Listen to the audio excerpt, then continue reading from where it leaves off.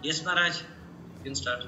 Om Jnanatimarandasya Recording in progress. Gyananjana Shalakaya Chaksurmilitanyena Tasmai Shri Gurave Namaha Namam Vishnu Padaya Krishna Prishtaya Bhutale Srimati Bhakti Vedanta Swaminiti Namane नमस्ते सरस्वती देवे गौरवाणी प्रचारिणे।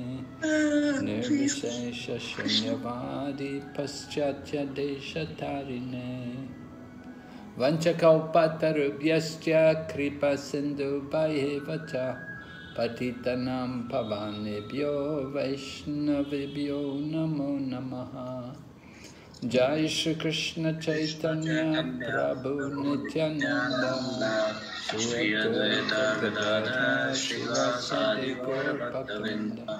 Hare Krishna Hare Krishna Krishna Krishna Hare Hare Hare Rama Hare Rama Rama Rama Hare Hare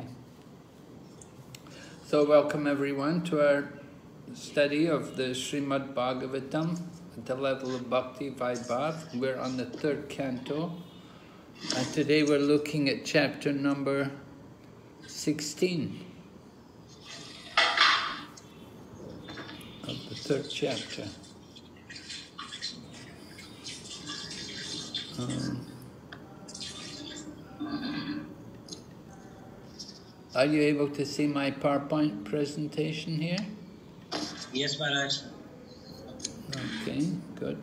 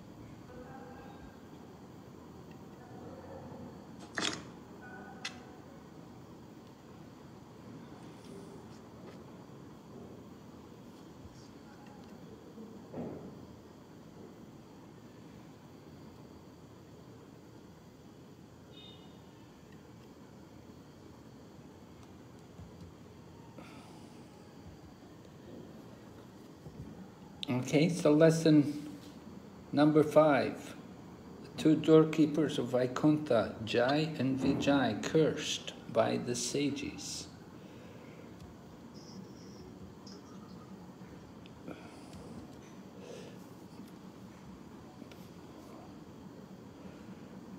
Here's the, the main sections which come in this chapter.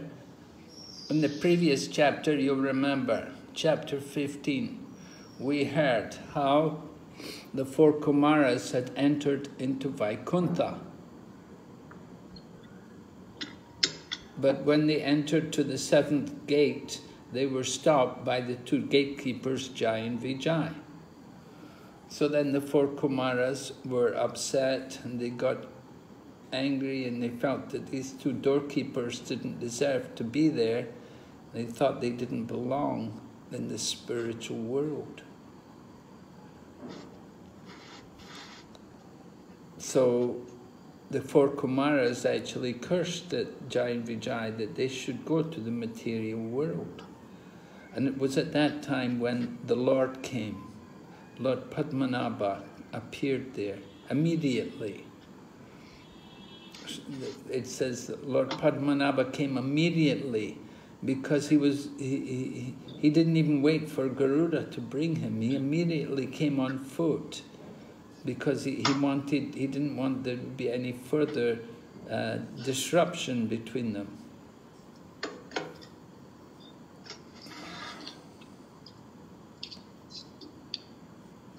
All right, so then the Lord came and he speaking. That, well, first of all, the four Kumaras were very happy, of course, to see Lord Padmanabha. And we had that nice verse, uh, Tashyaravinda, Nayanasya Pararavinde, like that. That the, they saw the beauty of the Lord, they smelt the aroma of the tulsis from his lotus feet, and they experienced a change in their heart they experienced a change from impersonalism to devotees. Previously, they had been jnanis, but after seeing, you know, it's very disturbing when there's a lot of noise in the background. I don't know what somebody's doing, but somebody's making a lot of noise to disturb.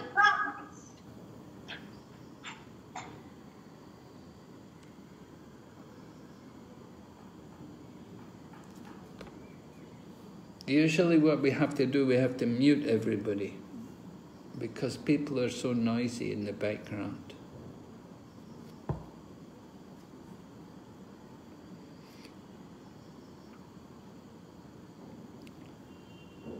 So the four Kumaras experienced a change from, from Gyanis, they became devotees. And their level of devotion is described to be Shantaras that they came, they're, they're examples of devotees in Shantaras. But that's better than being jnanis. All right, so the chapter begins with the Lord responding to the four Kumaras because the four Kumaras had offered their prayers, heartfelt prayers to Lord Padmanabha.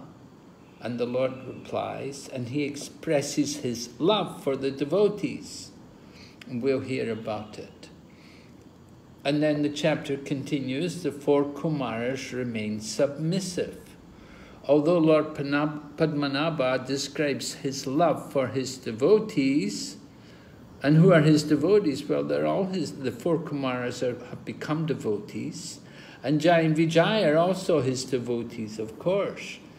Actually, the Acharyas describe that Jai and Vijay are more intimately connected to the Lord than the four Kumaras.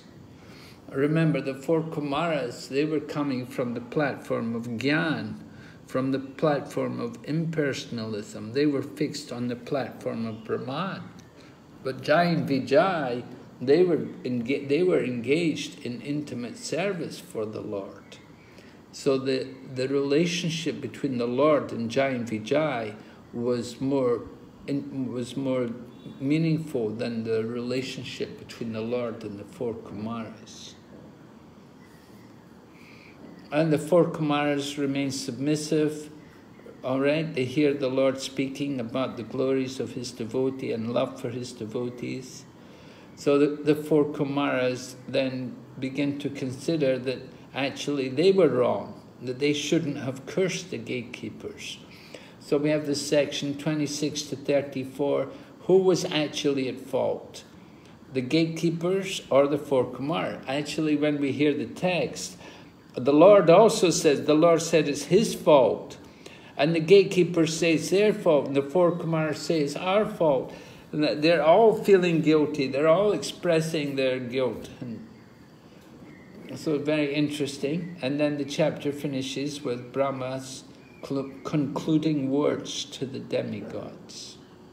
All right, so this is the chapter. It's a nice chapter. We'll go through the main points here in the PowerPoint.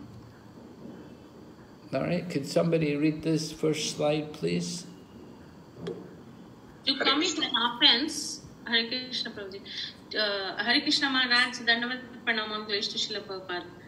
To commit an offense at the feet of a devotee of the Lord is a great wrong. Even when a living entity is promoted to Vaikuntha, there is still the chance that he may commit offenses. But the difference is that when one is in a Vaikuntha planet, even if by chance one commits an offense, he is protected by the Lord. This is the remarkable fact in the dealings of the Lord and the servitor, as seen in the present incident. The word atikramam used herein indicates that in offending himself, Srimad Bhagavatam 3.16.2. Thank you, man. Neglecting the Lord Himself. Of course, we know offences against the devotees very serious. There is a mad elephant offence, the first offence in the chanting of the holy name. But it is surprising to note here that even if we go to Recording Vaikuntha, stopped. it, it's surprising to note that when we go to commit offences, we would think that in Vaikuntha, because we heard there's perfect harmony, we were, dis- we were studying the nature of the Vaikuntha world in the previous chapter, and it was described there how there's perfect harmony in Vaikuntha. So we may think there's no possibility of any offense, but there is still the chance that one may commit offense. However, there is a distinction, and the distinction is that if we commit an offense in the Vaikunthas, we are protected by the Lord. So, who had committed an offense? The doorkeepers. The doorkeepers. Actually, actually four Kumaras. Yeah, we would. We could think the four Kumaras. We could think also the two doorkeepers, the, the two doorkeepers, and why why are why is the two why are the two doorkeepers considered to be offensive? What did they do wrong? because they um, barred the entrance of uh, four Kumaras. So what's wrong with that? Uh, because uh, as in the four Kumaras will tell that uh, this is Vaikuntha, so um, everyone is in harmony as Maharaj said. So why do you think that uh, there is a danger to the Lord? Uh, he is the Lord, he is control of everything. So why do you think like that? So you are not fit for uh, um, to be present in this planet. But that uh, but Jain J- Jain Vijay, they're thinking, well, these just children. How could they Yeah, be qualified yeah. to come to the spiritual world? yes, yes. So what? how, how do we argue? Also, that is also that is their job. I mean, uh, the doorkeepers are there to you know uh, protect. Um, I mean, to give privacy to Padmanabha. Yes. Yes, we could say like that. that the doorkeeper's job is to stop people from entering. Just like when Prabhupada would come, you know, Prabhu, they would always put some security around Prabhupada's room so people wouldn't go in and disturb Prabhupada. so, the same way, Lord Padmanabha, he has also uh, some guard, security guards there protecting. And we could also, however, the argument is that to get into the spiritual world means they must be pure. If they were not pure, they wouldn't be able to enter to the spiritual world. So, how could there be any uh, wrong in the four Kumaras coming in? But somehow they've entered, they've entered into that region, and so they must have, they must have been pure. They had no, they, they were, somehow they were qualified, they were able to enter. If they had not been qualified, they wouldn't been able to, they would not have been able to enter. And then,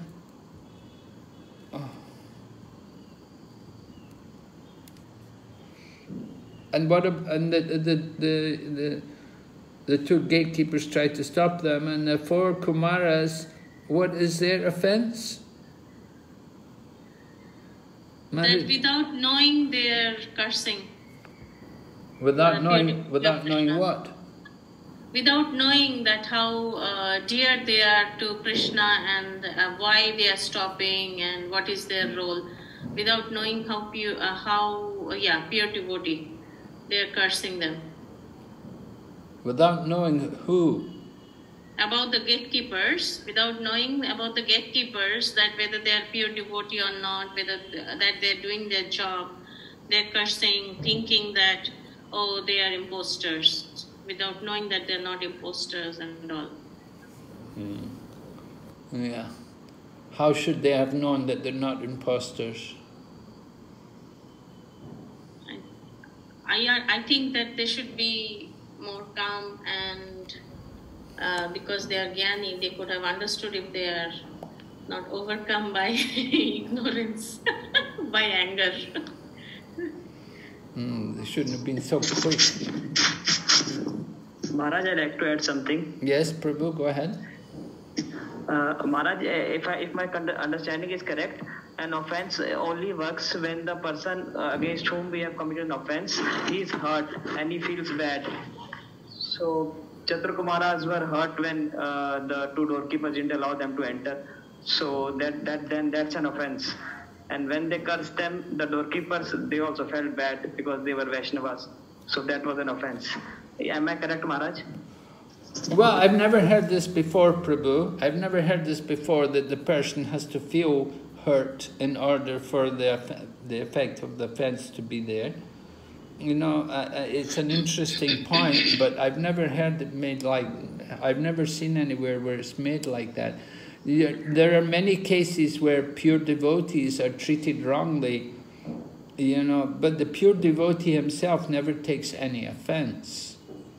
You know, people may deal un unpleasantly with devotees. Now, the pure devotees, they're transcendental, they don't take offense. But the people who offend them, they get punished, they get reactions. Yes, yes, Maharaj. Maharaj, in case when uh, once Rupa Goswami was meditating on some pastime and one uh, Vaishnava who was, uh, I think, bodily deformed, he passed and then uh, he, uh, mis by mistake, he uh, thought that Rupa Goswami is uh, laughing on him, so he was hurt and then that was an offense. I don't know if it it is like that. Yeah, well, it, yeah, I, know the pastime. Yeah, Rupa Goswami was laughing. He was meditating on some Krishna lila, and the Brahmana took offense, and the Brahmana thought that Rupa Goswami was laughing at him. But Rupa Goswami was laughing because he was meditating. He had seen some amusing event take place between Krishna and the gopis when they were all bathing. And So Rupa Goswami was laughing at that. And that affected his meditation because the Brahmana took offense at the laughing of Rupa Goswami. The Rupa Goswami's meditation was not able to be effective from that point. And he had to beg forgiveness from the Brahmana and explain to the Brahmana that he was not laughing at him. Yes, yes, Maharaj. Uh, can I say something, Maharaj? Yes, please do, Prabhu. Uh, Maharaj, as you asked why uh, they were angry like that. So uh, they, they have crossed the six gates and they were not uh, uh, devoured.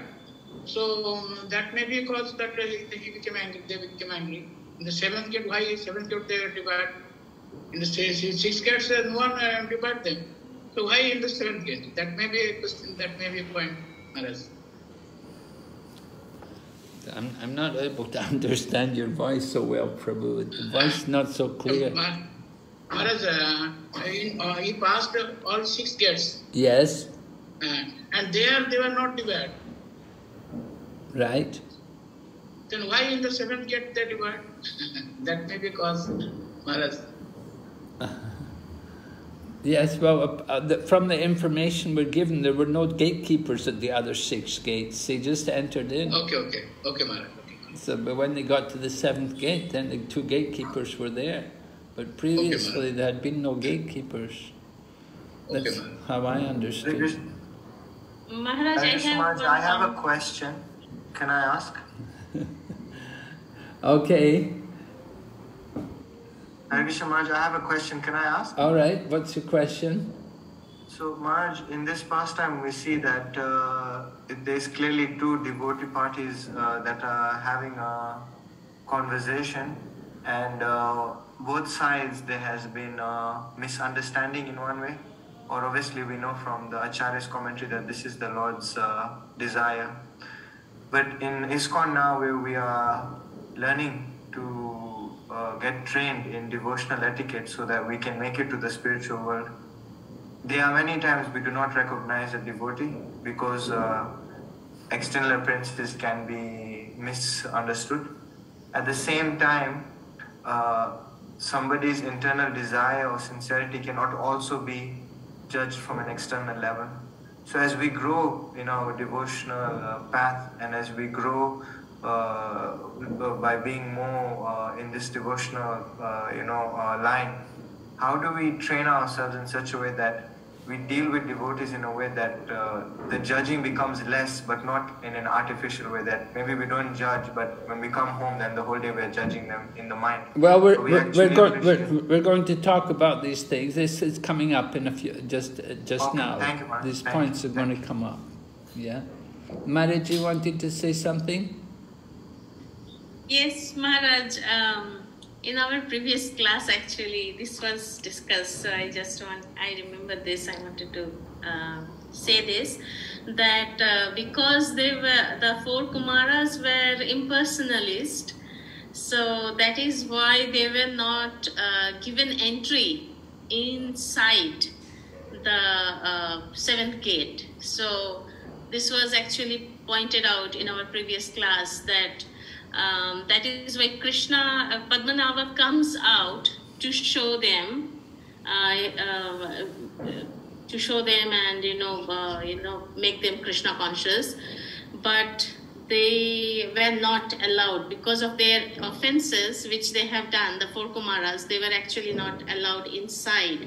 So from the gate itself they were you know told to leave so this is uh, this is why I also think that yes, four Kumaras are have actually offended than uh, the gatekeeper. Gatekeepers were doing the duty which was given to them. Well, yeah, yeah. I don't know about all this. Uh, you know, we could say that the four Kumaras, so, you know, to enter into the spiritual world, just like Durvasa Muni could enter into the spiritual world. He was not a devotee, but he could enter there. He could enter into Vaikuntha. That, but the point is, they entered, but they don't stay. So the four Kumaras entered, and as they entered, the Lord came and He gave mercy to them. So He, he understood their situation. They were not offensive, and they were pure in, in, the, in their minds. They had no material desires. They come there, and the, the Lord was willing to give His the shelter of His lotus feet to them. So they did become devotees. So we can't say that they had to leave because they actually did become devotees when they saw the Lord and they offered feeling prayers to Him. So I don't fully agree with everything like that. You say they had to leave. I, I don't, you know. Yeah, but they did not enter, right? They did not enter the seventh gate. From the gate itself, they had to go back. Well, they didn't. Did they have to go back? But they actually became devotees. It describes how they became devotees. The verse was there. They smelt the aroma of the tulsi leaves from his lotus feet, and their devotion awakened. And it actually said that they became dev- their devotees on the level of Shantaras. So you can't say they had to leave. Yeah, maybe they did leave, but usually they stayed in Four Kumaras, they stay more in Tapaloka, which is one of the higher planets there in the universe. But they it wasn't like they were told, get out, you know, you're not qualified. No, no rather that uh, of course they, they didn't have the intimate relationship with Jai and Vijay have with the Lord, but they did they did become devotees they awakened their devotion because the Lord came, personally came, He appeared to them. And by Ah. seeing the Lord, they had become devotees. Yes, Maharaj. Maharaj, one quick question. Um, this always had in I, I had in this in my mind that impersonalist means who are uh, who are, who believes in uh, merging into Brahman, right? So these four Kumaras, how did they become impersonalists? Because Well, um, it, it's it's not that they have to merge into. They can be Brahmagyanis.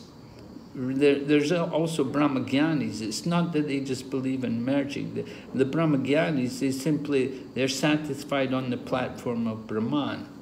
Now they'd heard about the Lord from Lord Brahma, but they'd never actually seen the Lord. So they were they were they they they had a, they had been attracted by the Brahman, but they had never actually had the opportunity to see the Lord. But once they saw him, then they awakened their devotion for him. So they came. So, So so, the- why didn't they? Uh, why didn't they have the feeling of love for uh, a personal form of Krishna? Because they already got the information. Like we, we, ha- we also did not see with our material eyes, yeah, but we are attracted to Krishna's form. Well, they are they are attracted to the Lord's form. When they saw the Lord's form, they were very attracted. That attraction was there. As soon as they saw the Lord's form, they became attracted. And they they gave up their impersonalism and they they gave up that attachment, the identification with the Brahman, and they immediately awakened their devotion and offered prayers to the Lord. Yeah. Before, why didn't they become like that, Maharaj? Because they Well, it's already a, knew it, it's a pastime. It's a lila to show us that they can be, that even one is on the platform of Brahman, that he won't be satisfied there. That until he awakens devotion, he won't be satisfied. Okay, Maharaj. Thank so- you, Maharaj. We have to see these examples. Okay, we have to go ahead. Let's go ahead. Someone read next verse. This is text number four. A wrong act committed by a servant lives on of the street.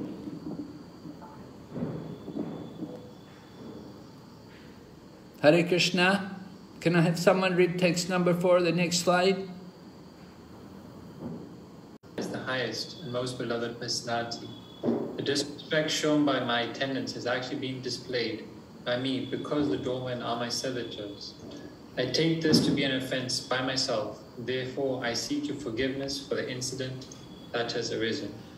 So what is the Lord saying?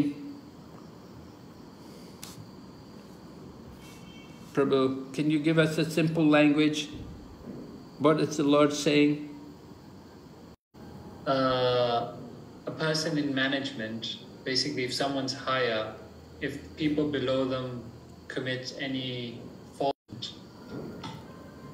Yes, Srila Prabhupada, if somebody wrote to Prabhupada complaining and he forced me to buy a book and I had to give him money, you know, I didn't, you know, I, the man wrote complaining and so Prabhupada would write back and say, I'm very sorry. He would say, I am very sorry. Prabhupada would apologize to him because he considered the devotee to be his representative. So similarly here also, the Lord is apologizing on behalf of Jai and Vijay. So he's, the Lord says, I take this to be an offense by myself. I seek your forgiveness. Okay, go ahead, read text number five. A wrong act committed by a servant leads people in general to blame his master, just as a spot of white leprosy on any part of the body pollutes all of the skin. All right, yeah, the servitor, the servant represents the master. So the disciple is distributing, preaching Krishna consciousness, he's representing Srila Prabhupada. We must be very cautious. Okay, here's a little exercise, just in relation to what we're talking about here. A devotee should always see that his Vaishnava qualities increase with the advancement of his Krishna consciousness. A devotee should be blameless because any offense by the devotee is a scar on the Supreme Personality of Godhead. The devotee's duty is to be always conscious in his dealings with others, especially with another devotee of the Lord. Discussing groups, the practical relevance of the above statement for ISKCON devotees in general. Without going into groups, which takes so much time, we just want to take some feedback from the, the devotees. Uh, you've already commented a little on it, one devotee already brought it up, that ISKCON devotees in general, we have to consider this, right? It's a very important, very relevant for all of us in ISKCON. Dealing with each other. Dealings with others, especially with another devotee. Is, it, is this relevant for us? Undoubtedly, right? Anybody, Yes, Maharaj. Yeah, would you like to comment on this? Sure, Marge. Um, we see that, uh, I think it was mentioned in one of the previous classes about ISKCON Resolve. Yeah. We see that they have a structure like that even for at the level of the GBC and other leadership structures. So it's it's certainly le- relevant that disagreements will happen. Um, but yeah, we need a form of mediation. Uh, that's one way to resolve it. But also, um, yeah, devotees need to be more sensitive, communicate clearly, and yeah, I don't know what else to say, but yeah, it, it's uh, it's an important subject. It's a very important subject matter that needs to be done. Yeah, we, you know, we, we, go, we work it against ourselves. If we cannot work together, of course, Prabhu, there's Prabhupada's famous quote, which he gave before he left the world, that your love for me will be shown by how you all cooperate with each other after I'm gone. And we do face these challenges that working with each other, it's a challenge, you know, because somehow we allow the personality of Kali to infiltrate into our midst, and we begin we begin to argue with each other, and we split into factions and different groups, and it defeats our own purpose. So we do want to try to somehow create the Vaikuntha mood, which is based on harmony. So it's particularly relevant for devotees. We don't want to, we want to show an example to others. You know, people generally come to Krishna consciousness looking to get away from the influence of Kali Yuga. And if they come into the ISKCON society and find us all arguing with each other, they'll think these people are no different from outside. So we defeat our own purposes if we're not working together. It, it's a challenge. It's certainly difficult because, you know, we do have our own different ideas, different different ways in which things we want to do, different methods we want to do. And so it's a challenge, but somehow we have to consider the higher purpose.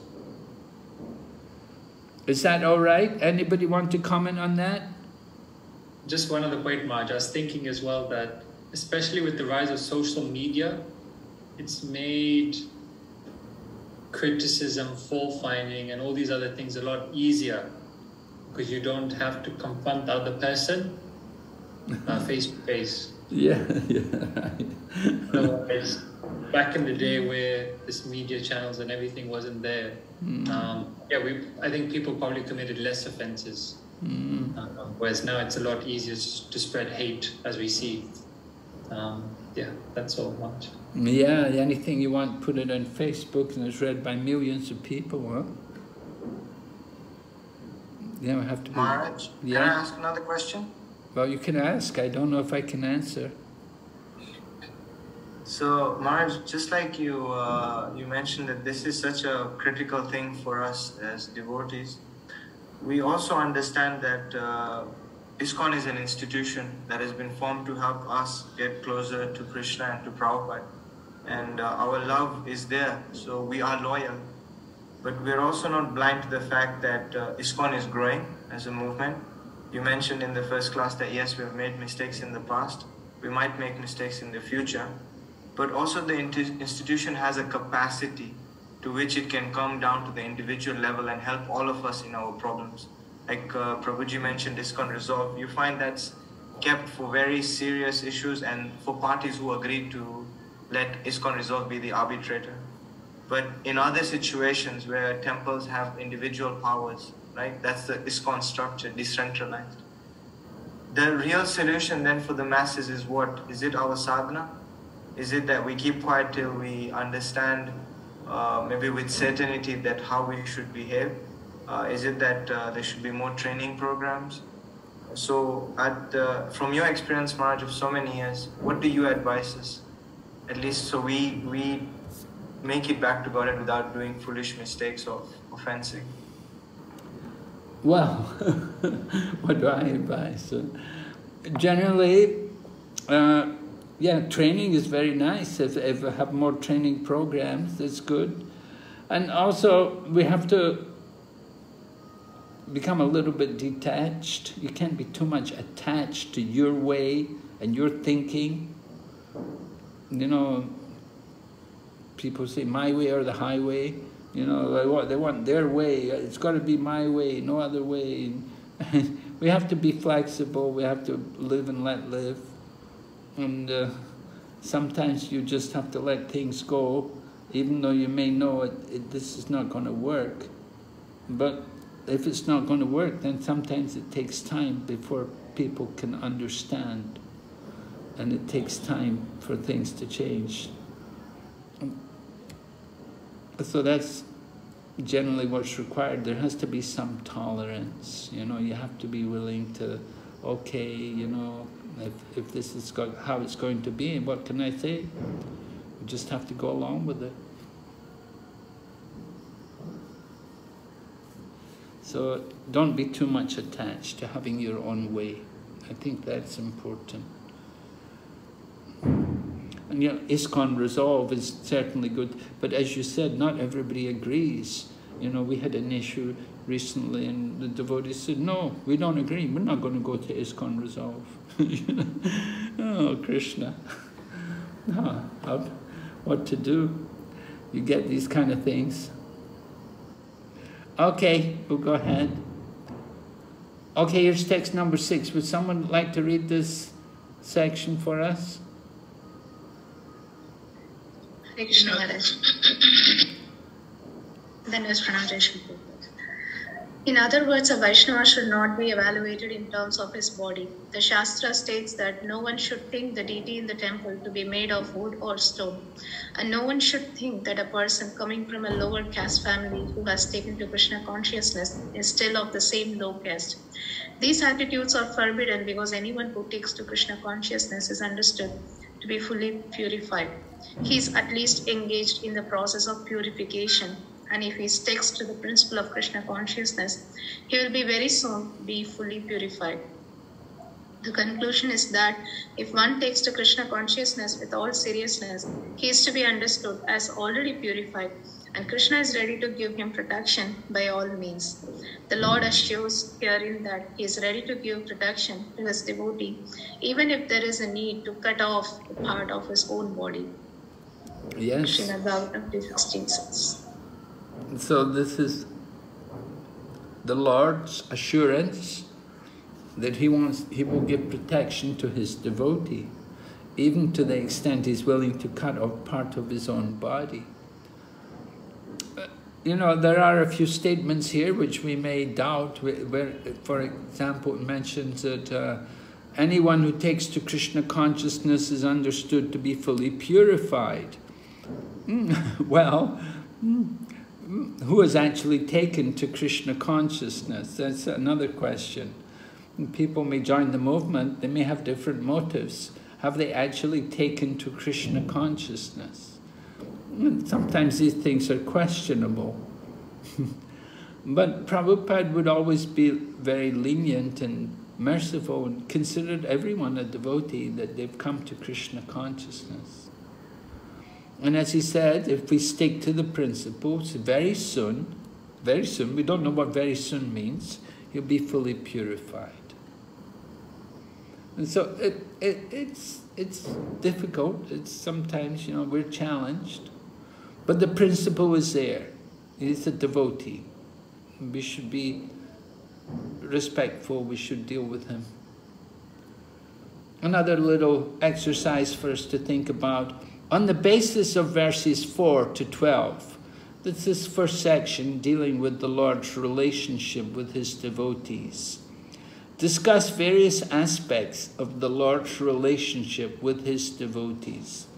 Also, discuss various reasons why we fail to see devotees in the proper perspective and discuss practical ways and means so that we can view devotees in the right perspective. So this is very much in relation to that question the devotee was bringing up here at the beginning of the class. I thought, you know, wait till it comes up here. So here's your chance. Would you like to have some group work on this? Would you do you think it would be valuable if you go into groups? How we many? want your point of view, Maharaj. Huh? We want your point of view in this, Maharaj. Well, I'm also eager to hear your point of view. and I certainly I'll give my point of view, but I think you should also discuss yourselves. How many people do we have here? Gary, Yes? How many? seven, 17 Maharaj, 1 7. 17. Uh-huh. So could, could we have groups of four and one group of five? Sure Maharaj. So there'll be three groups of four and one group of five. Four groups. And, you know, there's three questions really. Various aspects, discuss various aspects, discuss various reasons why we fa- fail to see. So, what, what are the reasons why we fail to see devotees in the proper perspective? And how can we view devotees in the right perspective? So, that's the main point of the question. Why do we fail to see devotees in the proper perspective?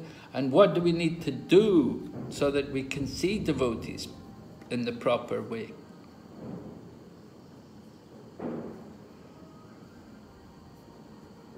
How long do we have for discussion? I mean, uh, for uh, preparing? Well, five minutes. Okay. Thank you.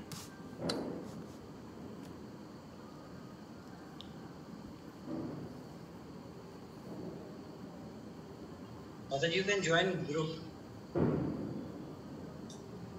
Yeah, Prabhu, that, that option just left. Recording stopped. Hmm. That option left?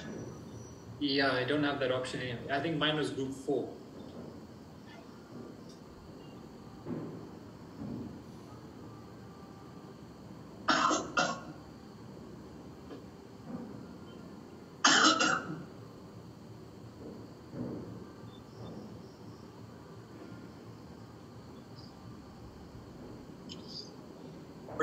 right now, I don't know. कहीं पे होगा देखो you just check it should be somewhere in your to your screen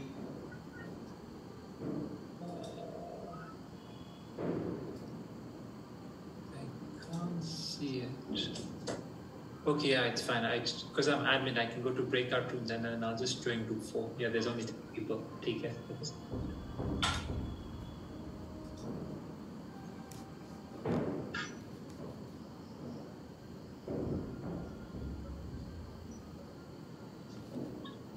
Would you like to join some group Yes? there's already a message on your screen you Really? Where? I didn't get any message. What group should I join?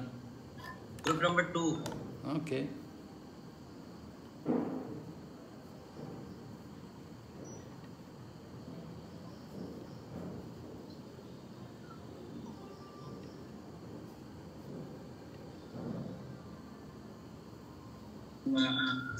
Uh, I, uh, I have not said anything. Ramya Prabhu is speaking. Uh, Ramya Prabhu, but we are not unable, yes. Okay. We are unable. I was trying to use some headphones, but that's making it worse. Can you hear me now? Yes, Prabhuji. Now it is Low volume, low volume. Prabhu, uh, you are uh, not in on video? I'm not aware. Okay.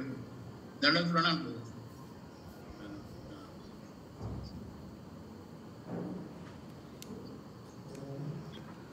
Prabhu. Okay. I, I was saying that uh, we can see how seriously the Lord takes his relationship and, his satisfaction of all his devotees.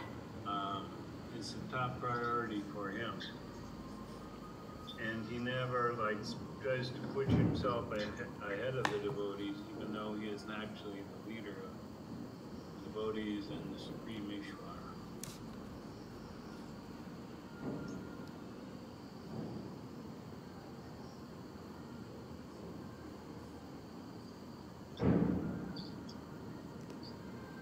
Did you hear that?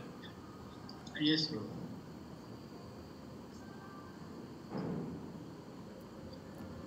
But I would say generally the problem seems to come because the devotees are not thinking of the Lord. There's no relationship with the Lord. It's simply that, that tendency, that conditioning is prominent there. And it's just really to try to come to a, a pure consciousness, to actually think in terms of being devotees. We're coming out of the material world, coming into Krishna conscious atmosphere. It's a big transformation, and we bring a lot of conditioning with us.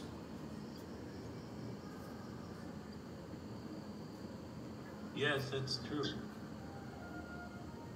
And sometimes we hold on to it for way too long. yeah. yeah. I'm speaking about myself.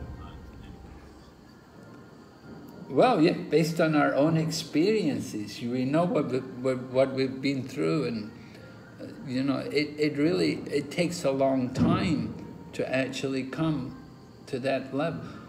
Of course, nowadays we have a lot of a lot more congregation people, so it's maybe they're a bit more mature.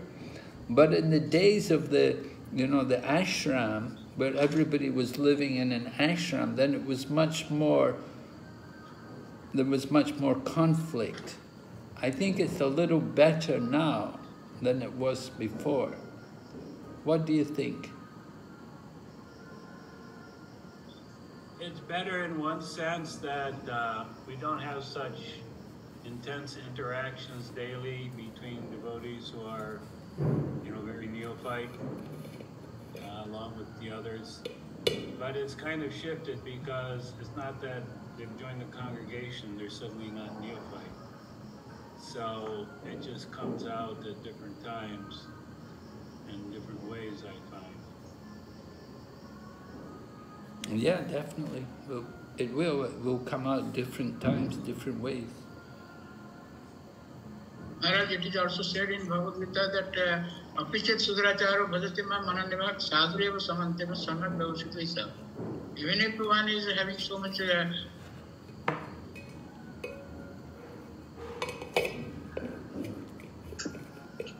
Okay. Hare Krishna. Very short time, Maharaj. We- Recording in progress. Yeah, we didn't. We could have discussed this for a long time, right? yeah.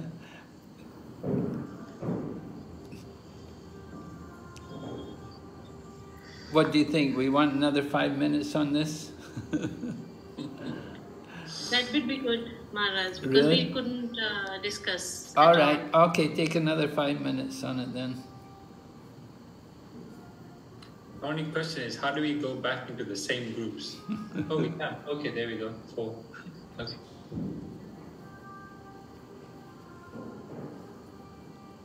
Recording in progress.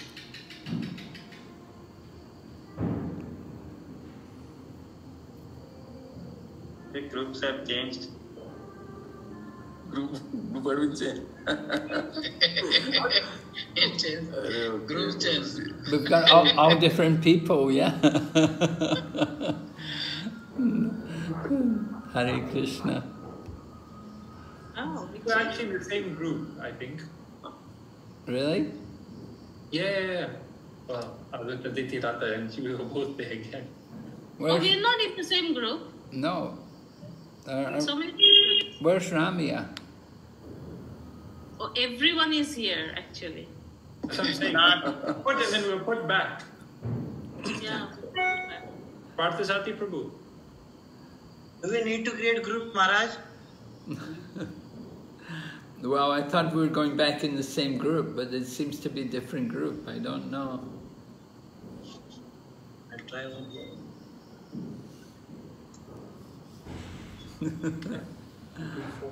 This time is. Uh, Oh, Ramya, yeah, there you are. Okay. Yeah. Hare Krishna. At one point, I was thinking uh, very, very beneficial. Is like Lord Chaitanya said, this verse, Trinadapi, Sunichena, Tarorapi, Sunichena, should always wear it around your neck. It should be our topmost priority. So, in if you really take this to heart, a, lot of the um, failures that we have between devotees would probably be, be uh, dissipated. Yeah, yeah, it's really a key factor. That that verse is so meaningful and so important.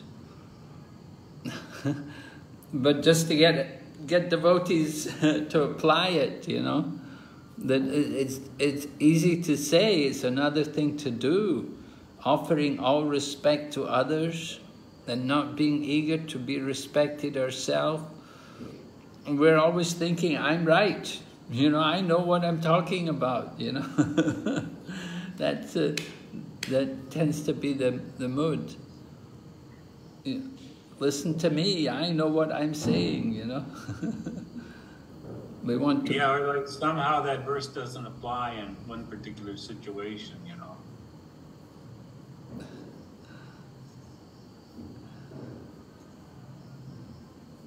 I mean, I personally saw it. I had two different devotees, authority and congregation, and they were having some disagreement. And they said, each party said, until the other party apologizes, I will not speak to them.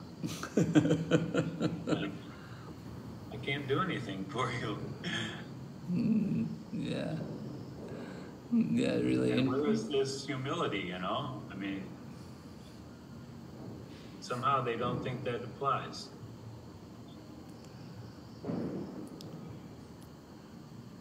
Yeah, it's, it's definitely. What can we do about it? What what can be done? You know.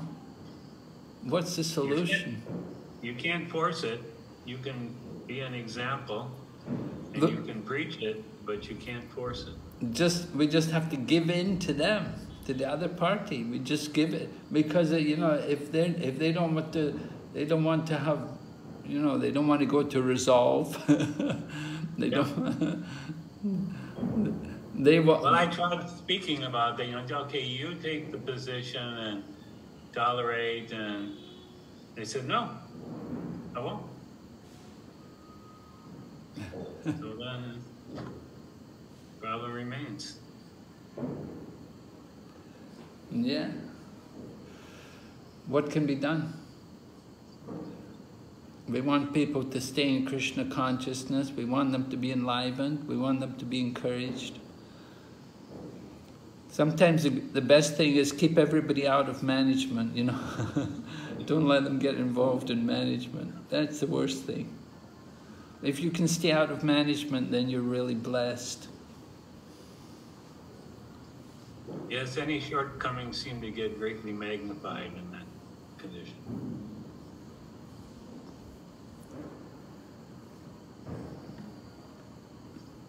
Of course, ishtagostis are good, you know, getting just getting people together and talking, just somehow or other getting people together and getting them to just to understand each other. It, it, it, but as you say, you know, you get sometimes these situations.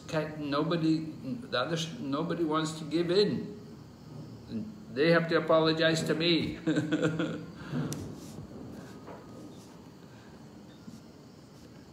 it's very difficult, very challenging. So all I can conclude is that I am not pure enough, I'm not advanced enough to these devotees actually want to hear what I say.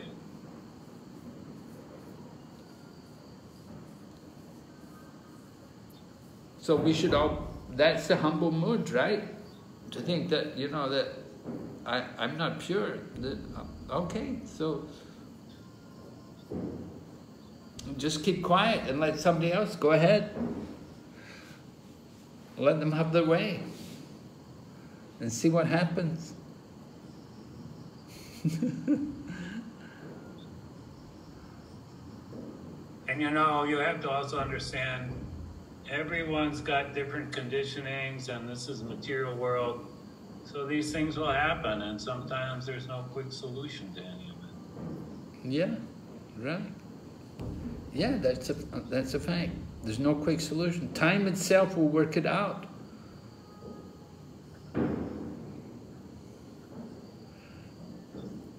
Of course, it, it's a waste of time. Of sometimes, how much time have we got? Our time is limited, you know.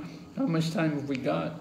And they, they want to take more, waste more time, just to, you know something is not going to work, but they're so determined, they want to do it, and you just have to let them go ahead.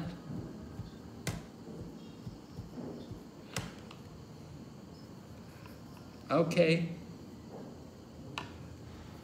Anybody else want to say anything here?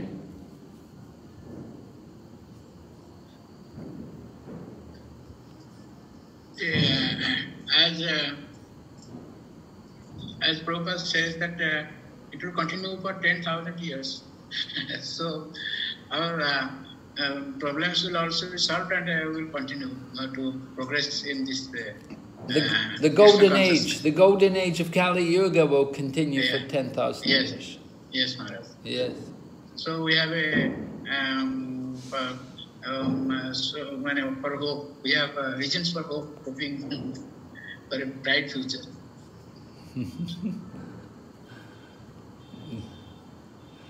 Yes. Yeah, the future's always bright. but the question, the question is how long you have to wait before you get the future. Okay. How much time have you got?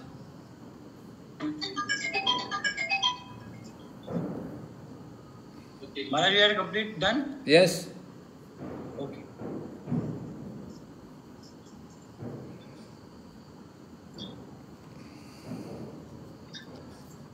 Okay, let's hear group number one. No. You are still in breakout room, Maharaj. You have to leave breakout room. Oh, I have to leave the breakout room. Okay. Is,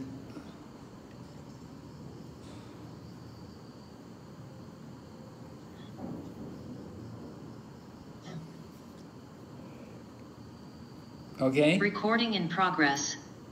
everyone's back? Yes, Maharaj. All right, so who, who's the spokesman for group one? Hare Krishna Maharaj. Hare Krishna. Um, Maharaj, we discussed that uh, mainly like we don't see uh, the devotees in a right perspective. It is because of our egoistic nature. Uh, so we always consider that our point of view is right and we don't even think about what others are thinking. So it is because of our egoistic nature. And also it is because of our ignorance, uh, ignorance in the scriptures. Uh, so for example, like uh, the goldsmith can understand the quality of a gold, but who does not about, know about the gold, so they cannot value it. So similarly, it is because of our ignorance, so we don't know the quality of other devotees.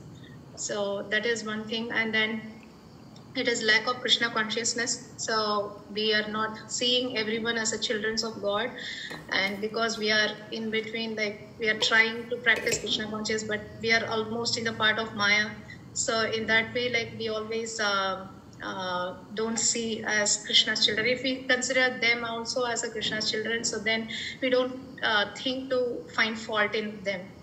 And uh, and another thing is uh, when we know the scriptural point of view, like or uh, when we are strong in scriptural thing, so then we will not commit offense. Like because Chaitanya Mahaprabhu mentioned, like it is a mad elephant offense. So when we commit offense, it's a mad elephant. Like if we really want to progress in our spiritual path, so then definitely we when we know all these things, so then we will not even think about that. So to commit offense, and uh, and also like we should always in the guidance of a senior devotees, so that like whether if we are saying something wrong, so we can discuss like this kind of thought is coming, like how I can overcome. So in that way, like we can take guidance from the senior devotees, and. Uh, another point is like uh, Vaishnava etiquette we can learn from the association of the devotees. So when we associate with the devotees, then we know how we have to behave and all those things we can learn uh, from the association of devotees only. And uh, always uh, to practically follow this, uh, we have to keep remember the famous like Shikshashtaka prayers like Kirtaniya Sada Hari. So if we really want to progress and chant our holy name eternally, then we have to be humble. So when we are humble, then we don't uh, see the other's fault. And uh, the example we can see the Jagai Madai pastimes. So Nityananda Prabhu, even though he got hurt, so he wants to, uh, he went uh, Chaitanya Mahaprabhu came to kill, but he immediately pointed out that Jagai actually he stopped Madai to further hurt. So he see the good in others. So in that way, like if we, uh, whenever some uh, fault finding thoughts is coming, so then immediately we try to think what are the good qualities in them.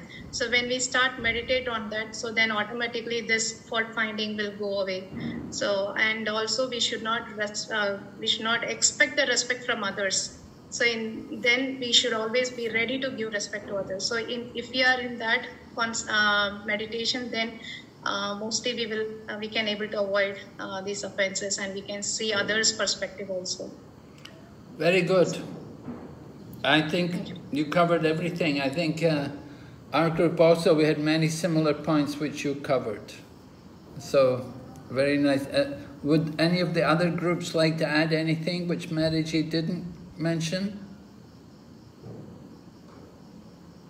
Oh, we, we, are, we are not having separate uh, thing we have to add because we missed out some points uh, what she read we came in after our time was over uh-huh. and i saw she was already saying so i don't know okay do you have any new points which which were not raised um, there might be, I don't know, Prabhuji, whether she covered this or not, but um, I can place this point as we are covered in three modes and our vision is impure. That is one of the reason why uh, we see, uh, we fail to see the devotees in a proper uh, perspective and also uh, uh, familiarity. Uh, so familiarity brings contempt. I don't know whether this was covered or not. So therefore, when we are too much familiar with some devotees, then we try to, you know, we sometimes do offenses and envy all these scripts in. And uh, sometimes we also underestimate and uh, think that the devotees are uh, or that devotee is less qualified than me maybe she or he doesn't speak good english or doesn't come from this country or that country and that may also bring that uh, you know superiority complex in us uh-huh. which is also an offense so that is another point. I don't know whether it is covered or not. And in the second question, uh, I think humility is also covered, but uh, that is one point which we also had. And uh, we have to, uh, so we have to understand that everyone has flaw and we cannot judge by their flaw. We have to see the good qualities rather than the bad qualities okay. in them. And uh, and I think she covered everything other than that. okay. She... Okay, thank you very much. Thank you. Okay, Anybody else want to add anything? Group three or group four? Hare Krishna. Yes? Yes, Marge, um, we discussed similar points. And uh, one of the points that was brought up by uh, Sim Krishna Prabhu is that uh, we have become conditioned to become judges, that we judge everybody by different uh, perspectives, wealth, uh, educational background, opulence.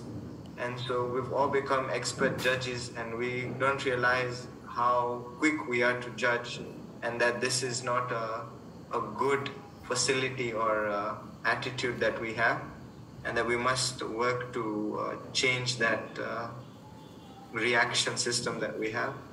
And another point was um, we tend to forget, even after joining ISKCON, that we are still conditioned. We haven't yet made it. And so, you know, uh, because we are conditioned, we are bound to misjudge because we are still full of faults. So maybe we have become proud by joining ISKCON and thinking, yes, now I'm a sadhu sadhu. But really, we're not yet, you know, sadhu sadhu. So we should be more cautious and aware and not become too proud and, uh, you know, commit offenses by thinking we can really understand everything. Because, uh, you know, we have seen from ISKCON's history how many mistakes have happened at the highest levels. So we should just be more humble, like Mataji said, and uh, try to accept our real position that we're not so competent yet. This is what we discussed, Maharaj. Okay, sounds very good to me. Very nice. Certainly, I value these kind of statements. Are very helpful. Practical ways. I'm it that it's difficult to you know practically implement these kind of things.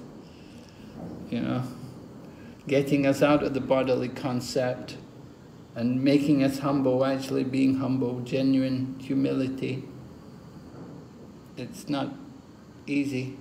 What are practical ways? The most, I think the most important thing is very strict sadhana. If people have proper sadhana, good sadhana, it will help, it will go a long way to developing these better qualities, the humility and the the, the willingness to hear from others and not thinking ourselves to be superior or better than others. So it's actually meant to be like that. It's meant to be, you know, that everybody would go to the morning program and everyone. They even have a ruling like uh, to be a member of the GBC, you must attend the mor morning program, you must go to Mangal Arti, and these kind of things, you know. But it's difficult. Okay, we'll go ahead. It's, it, one other thing, March, practical. Yeah? So, in order to keep our position in the right place, we should remember two things and we should forget two things. The two things we should always remember the good others have done to us and the bad we've done to others. And the two things we should forget are the good we have done to others and the bad others have done to us. and if we do this, we can remain in the right frame of consciousness. Mm. You're asking for a lot.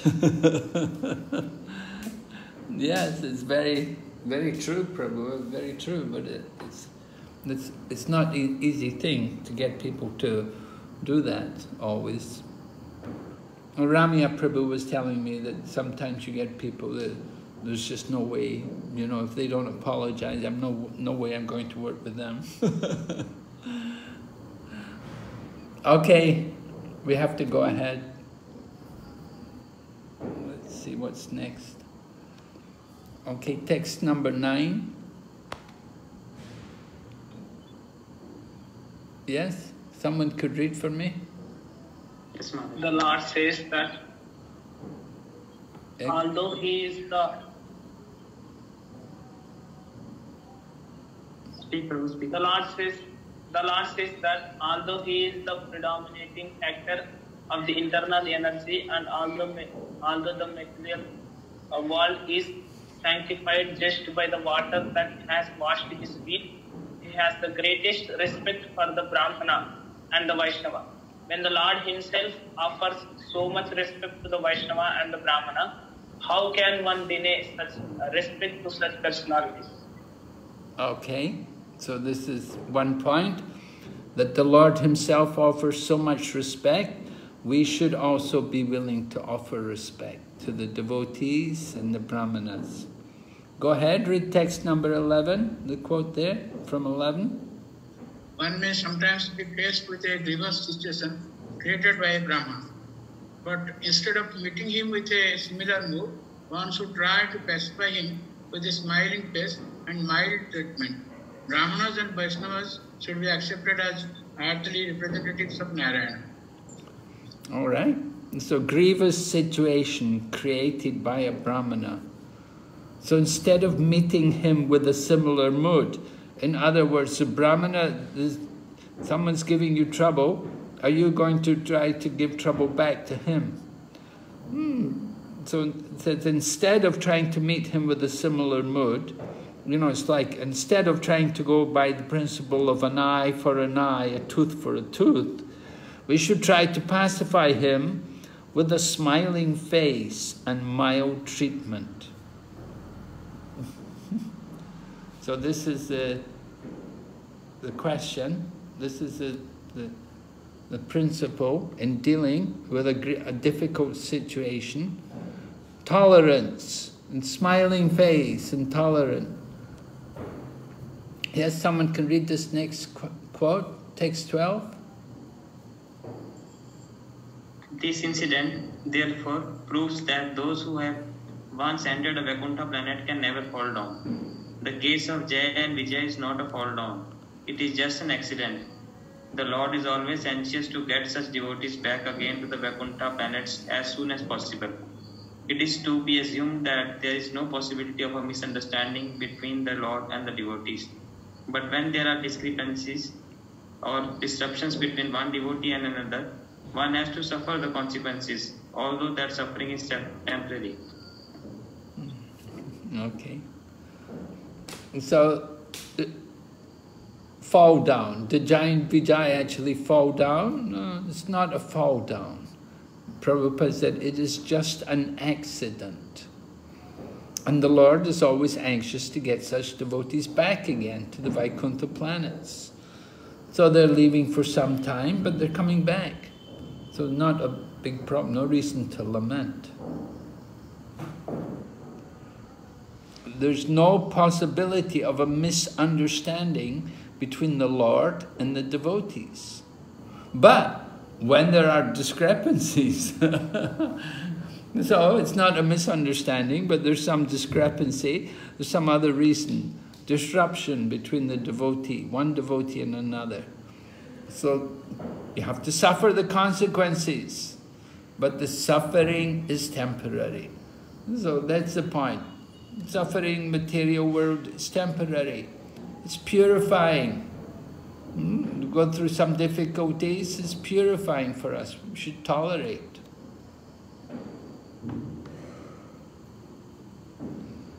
Okay? This jumped up to, to text number 25 here.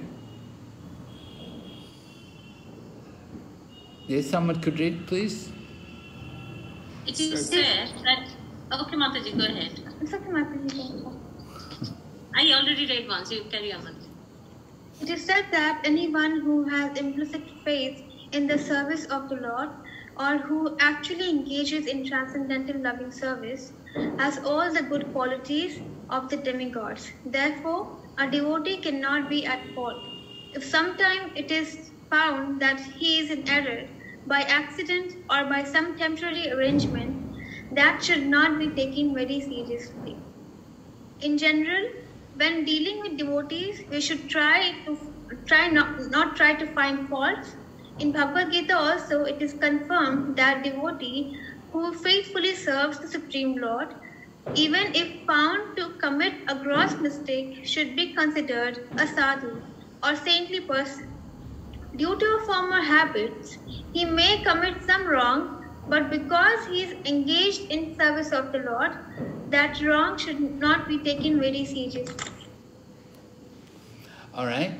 So here's the, uh, that verse which someone brought up earlier this evening. They were talking about this verse from the Bhagavad Gita, Apichet Suduracharo Bhajate Mam Ananyabha. Someone may commit a gross mistake, but still he should be considered a sadhu or a saintly person. Hmm, due to former habits, he does some wrong. But devotees, we should think. Uh, we shouldn't take it very seriously. Why? Because, well, he's a devotee. Anyone who has faith in the service of the Lord. So this is the idea. We have to have faith in the Lord's service and we want to engage in service and we should be developing the good qualities that is the sign that we're actually becoming devotee, that we're becoming pure, that we're, we develop the good qualities just simply by engaging in devotional service. Prabhupada a devotee cannot be at fault. well, but there's difference of opinions. Sometimes it's found he is in error by accident or by some temporary arrangement should not be taken very seriously. Well, certainly Prabhupada saw things happen, different devotees he would put into responsible positions and he would give positions of leadership. And he saw that sometimes they would get in difficulty. They would have troubles. But Prabhupada always encouraged them. Come back. Continue. Certainly, he never wanted them to go away from Krishna consciousness. That was the main thing. There was one devotee, he was in charge actually of the temple. It was in Detroit in Prabhupada's time. So he did a lot of valuable service. He was a very nice devotee and he loved the deities. He did a lot of deity worship. And it was during his time that, uh, you know, Ambarish Prabhu, the, uh, the grandson of Henry Ford, had come there and become devotee. So Prabhupada was appreciating him. But the next time Prabhupada came to the Detroit, he, he saw the temple president had changed. And he, he said, what happened to the temple president? Where's the devotee who used to be in charge?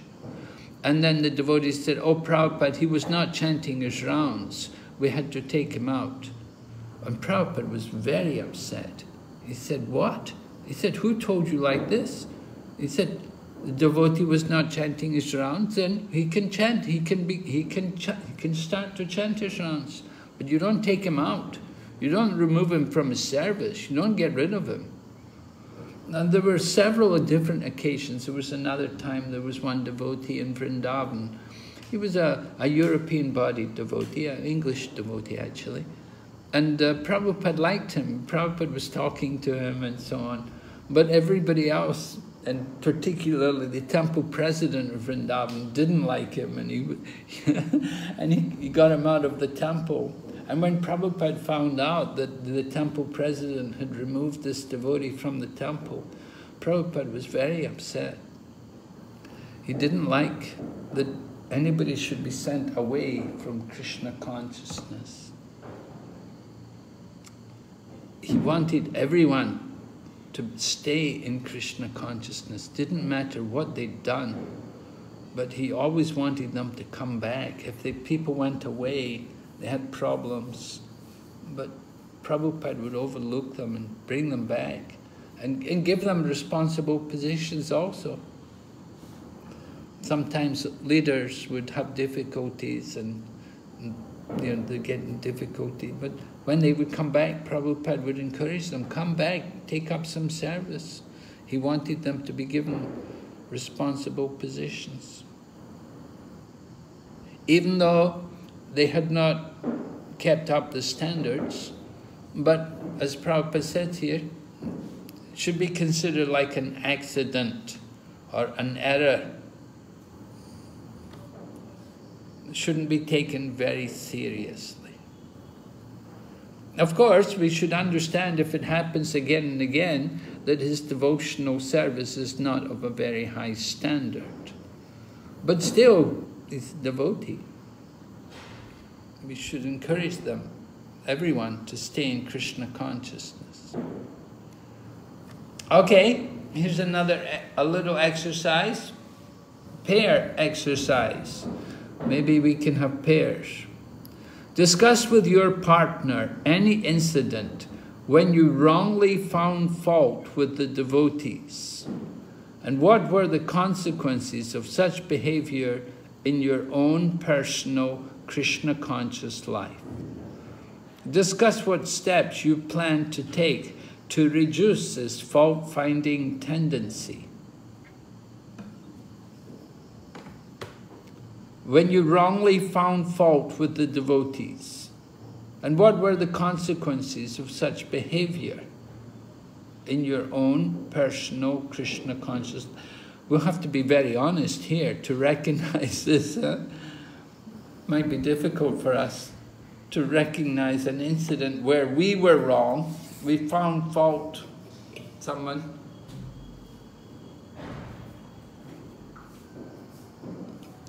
It will take some personal honesty.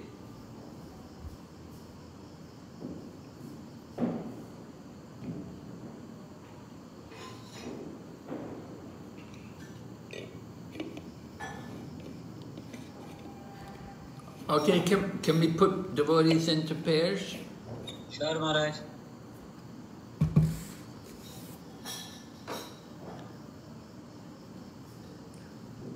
It shouldn't take too long.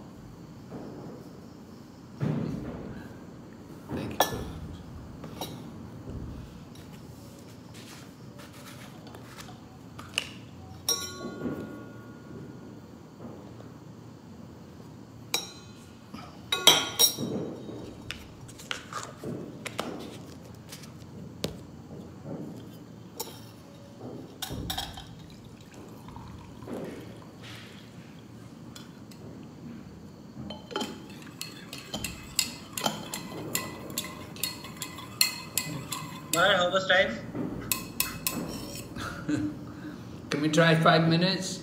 Okay. Recording stopped.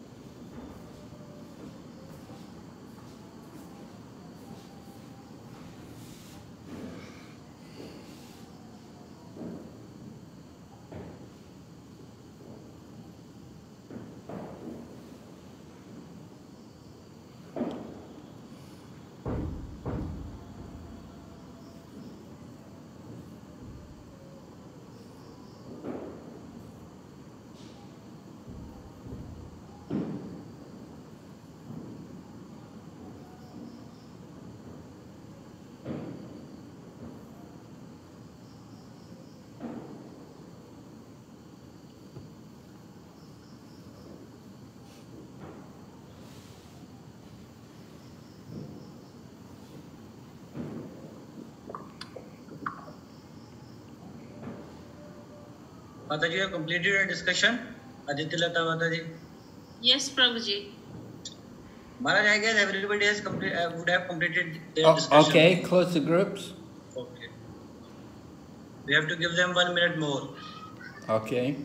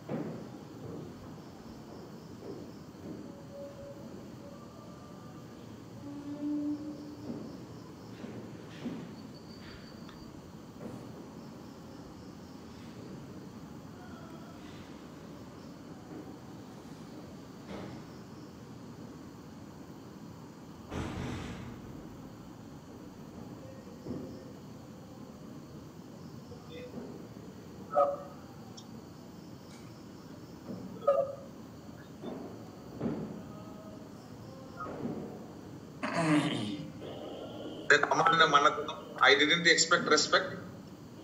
Everybody is back, Maharaj. All right. yes. So, would someone like to offer some feedback on this? Recording in progress. Yeah, Maharaj. Yes, Prabhu, go ahead. Um, uh, yes, Maharaj. Uh, during my stay in ISKCON Burla temple, ISKCON Burla, Sambalpur, Odisha, I was going to my official duty in the morning and return back by 5 p.m. And prasadam I was receiving from the prasadam hall. A devotee was cooking with uh, nice prasadam, but because of because of uh, delay in service prasadam to me or the reason that I was neglected in receiving prasadam in night time that uh, that uh, intercepted my mind. I I I, I was uh, yes I was struck up by aggression and uh, my in an angry mood I shouted. I just I misbehaved the uh, not exactly misbehaved but that uh, that uh, the sporadic emotions that what that came out and I shouted. So but that devotee was very good in cooking. He was serving much that I just I repented. I lamented much thereafter, and uh, because of because of our material complexities, our different occupational responsibility that does not match with the devotees. Because I by that time I I had recently joined in the temple. I was working in the in the material environment for a long time, and that is not becoming synchronous with the with the standard of the temple. How to behave with the devotees in the initial stage of life. So that that created that that created a problem. That is the basic cause of uh, the the disharmony or that uh, that took place. So that after I modified, modulated myself to the standard that is uh, as it is desirable to be devoted in Krishna consciousness. Thereafter I learned, I started respecting the senior devotees, and uh, by the by, I I am trying to improve myself, and and I have already I have already formulated some systematic plans. And when I will approach a devotee, I shall be humble. I will be very very humble, very compassionate uh, to the degree it is uh, it is desired. By the by, I will uh, develop myself. Very nice, Prabhu. Thank you very much. Very nice. Very honest description. Thank you. Yes, anybody else like to offer? I, I can say very bad thing about me. yeah, one time we were uh, uh, in a temple in uh, we were in Atlanta actually, and there is a very uh, there's a devotee. My daughter was at that time she was uh, uh, four year old, four or five year old, and this devotee's daughter was two years older than my daughter. So I saw her. My daughter was very naughty, of course, very young age. So she's going around here and there and trying to make friends with everyone, even in the temple. So I saw that mother actually telling her child not to go and associate with her because she did not want distraction for her child, which actually made me very sad and very hurt. And from then onwards, whenever I met in any association the lady and her daughter, I was very apprehensive. What is she going to do? And I was telling my daughter not to go there, you know, so not get humiliated. So this actually created some trouble in my mind. I started realizing because maybe she's not affected. She doesn't even realize that I heard her when she was talking to her daughter.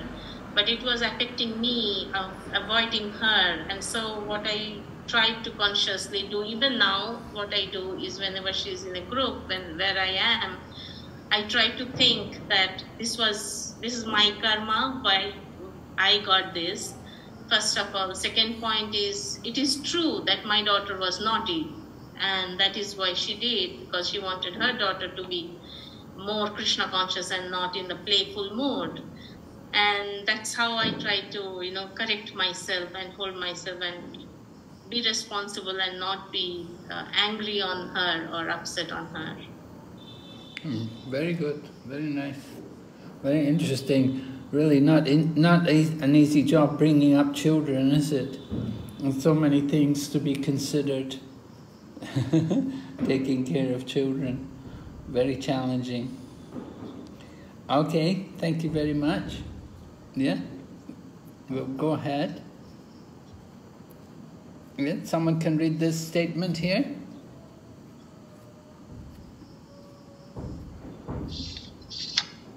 the Lord stated that the punishment inflicted by the sages upon the doorkeepers Jaya and Vijay was, con- was conceived by the Lord Himself. Without the Lord's sanction, nothing can happen. It is to be understood that there was a plan in the cursing of the Lord's devotees in Vaikuntha, and his plan is ex- explained by many stalwart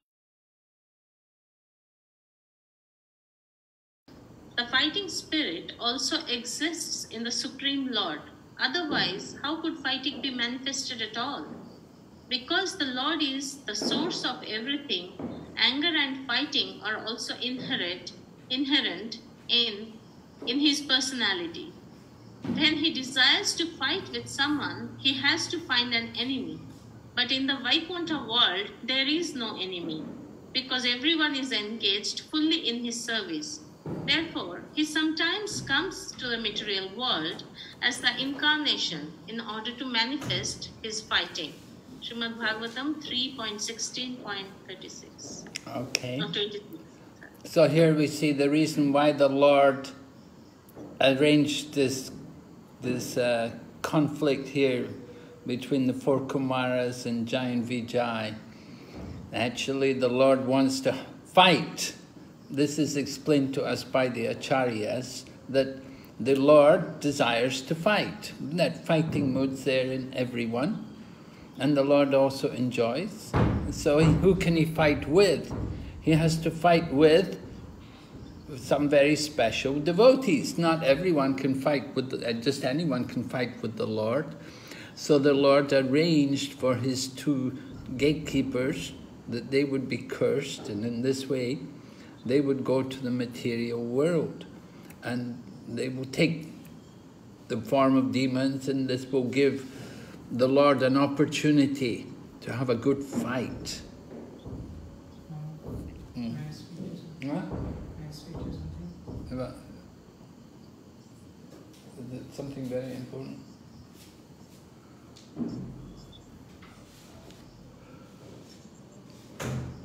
So, eh, the Lord has to fight.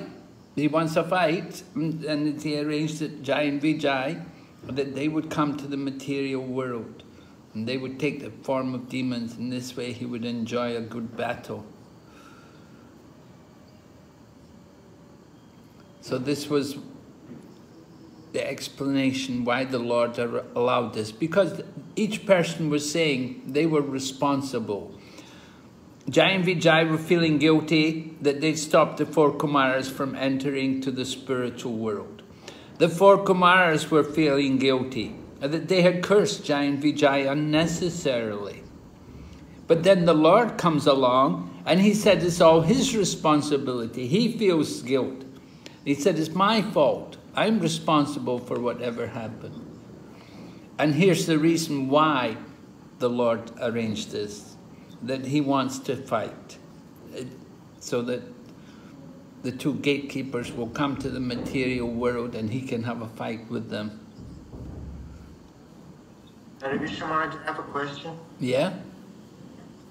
Maharaj, uh, the spiritual world is complete, you know, and uh, here we can see the Lord's desire to fight is uh, because that quality is there. It's not necessary to inflict uh, suffering upon another person.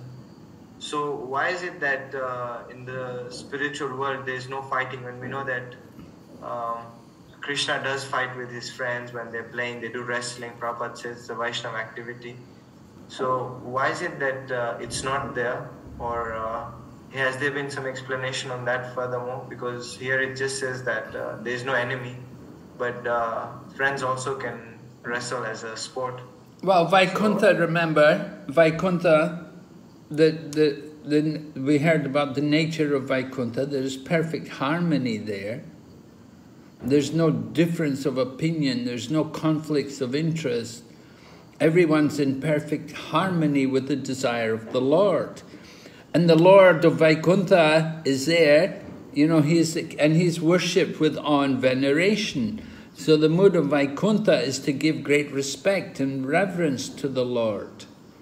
So how can you fight with someone like that when you have that mood? Of course, we know in days of old there were different kings and rulers, and they would keep people with the, they would keep people around who who would fight with them just to keep them in shape. They'd have people there who could wrestle with them and bring test their skills.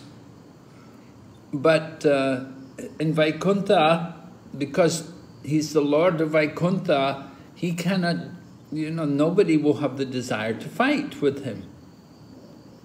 Because everyone is the devotee, they're all pure devotees.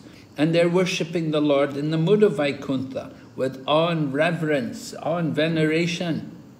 So, how can you possibly fight? You can't, if you're giving so much respect, you're not going to fight. So they have to come to the material world. And by coming into the material world, then you get a real fight, not just a mock fight. You know, the, whatever they would do in, the, in Vaikuntha would just be a mock fight. It wouldn't be real because all the time thinking the Lord. But by coming into the material world and by sending the gatekeepers to the material world, then the Lord gets a real fight. And look at, you know, he arranged. Very powerful, very, very powerful demons. Hiranyaksha and Hiranyakashipu were so powerful. They were so strong. They were invincible. And then they got blessings from Brahma as well.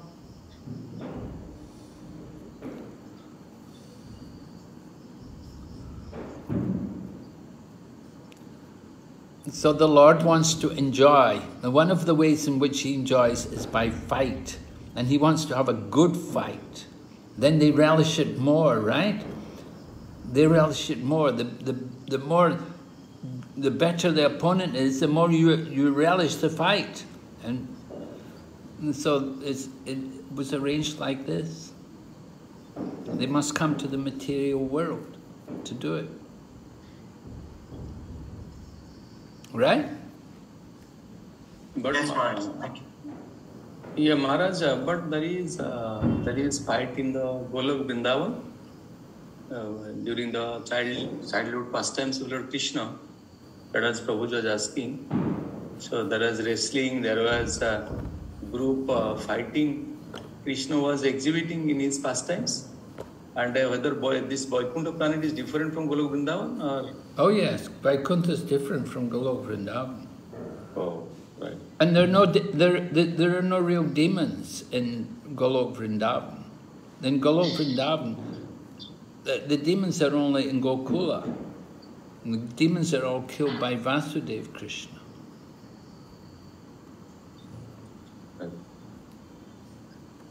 Mm, Maharaj, for like for fighting uh, like that particular jiva is why it is required. Like any jiva, jiva can get the strength to fight with Lord. Is this uh, in strength? Jivatma also contributes something.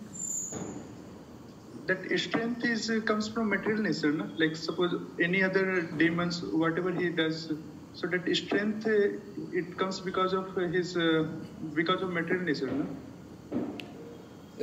Well, mm, yeah, somebody's born with a strong body. We could say that due to karma, somebody has the karma, they have a very strong, powerful body.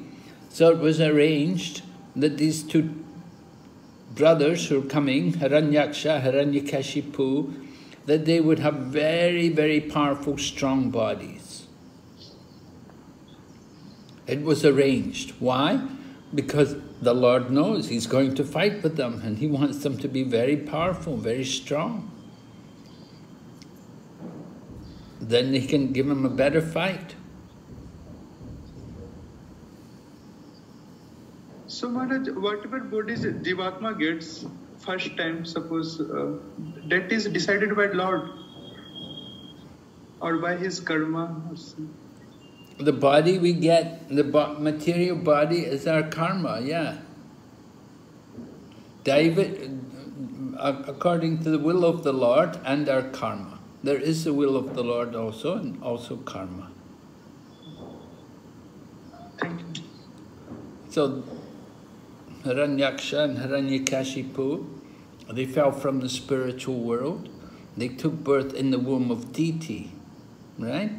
Originally, the question was, what was the cause of the darkness in the universe?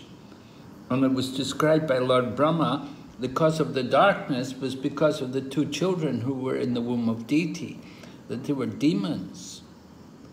And they were very powerful, very powerful, very strong. We'll hear more about them in the coming chapter. Maharaj, uh, can I ask one question? Yes? Whereas, uh, as it is a general procedure, is that uh, the um, devas or the living entities, they come in the form of uh, rain and they take shelter of uh, um, these um, grains and they go to their father and uh, they become uh, the blood and then in the cement. And then in that way they are injected into the, the mother's body. Uh, so in this case, actually, this is not so. This, this, this didn't happen in that way because uh, just uh, um, they were uh, just uh, after um, doing sex only at that time only they were injected. So it is different from the original usual process. Different from the usual process? Yes, Maharaj. Uh, well, it is, is described like that. Of course, that, that, that's one way in which particles fall. That was falling from the higher planets, that it comes down in the form of rain, and that then the rain enters into the grains, and then the grains are eaten by man, and like that. Yeah, that's it's described like that. That is describing about the, the some jivas which fall from the higher planets. Yes, Maharaj. It's not always like that, but in some cases it's like that. Okay, Maharaj. So fighting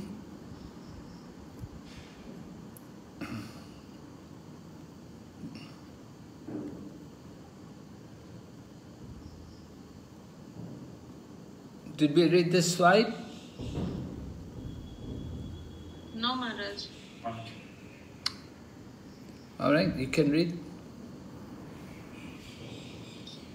Therefore, just as on a theatrical stage someone takes the part of enemy to the proprietor of the stage, although the play is for a short time and there is no permanent enmity between the servant and the proprietor, so the Sura Janas, devotees, were cursed by the sages to go to the Asura Jana or atheistic families.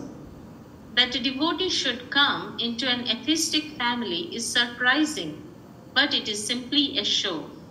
After finishing their mock fighting, both the devotee and the Lord are again associated in the spiritual planets. That is very explicitly explained here. The conclusion is that no one falls from the spiritual world or Vaikuntha planet, for it is the eternal abode. But sometimes, as the Lord desires, devotees come into this material world as preachers or as atheists. In each case, we must understand that there is a plan of the Lord. Srimad Bhagavatam 3.6.26. So this is a very complex issue, you can see.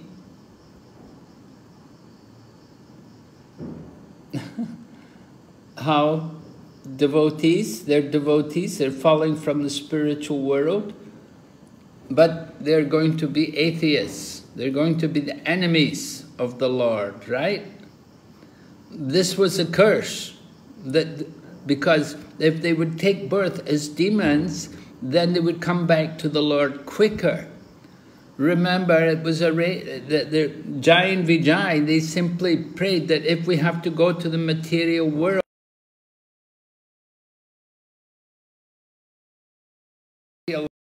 long time there in the material world. And we don't want to forget the Lord.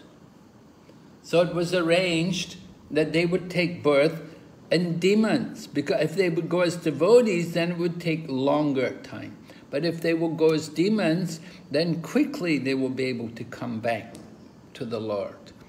And in order, in taking birth as demons, they will develop, they will remember the Lord, and they will remember the Lord in an angry mood.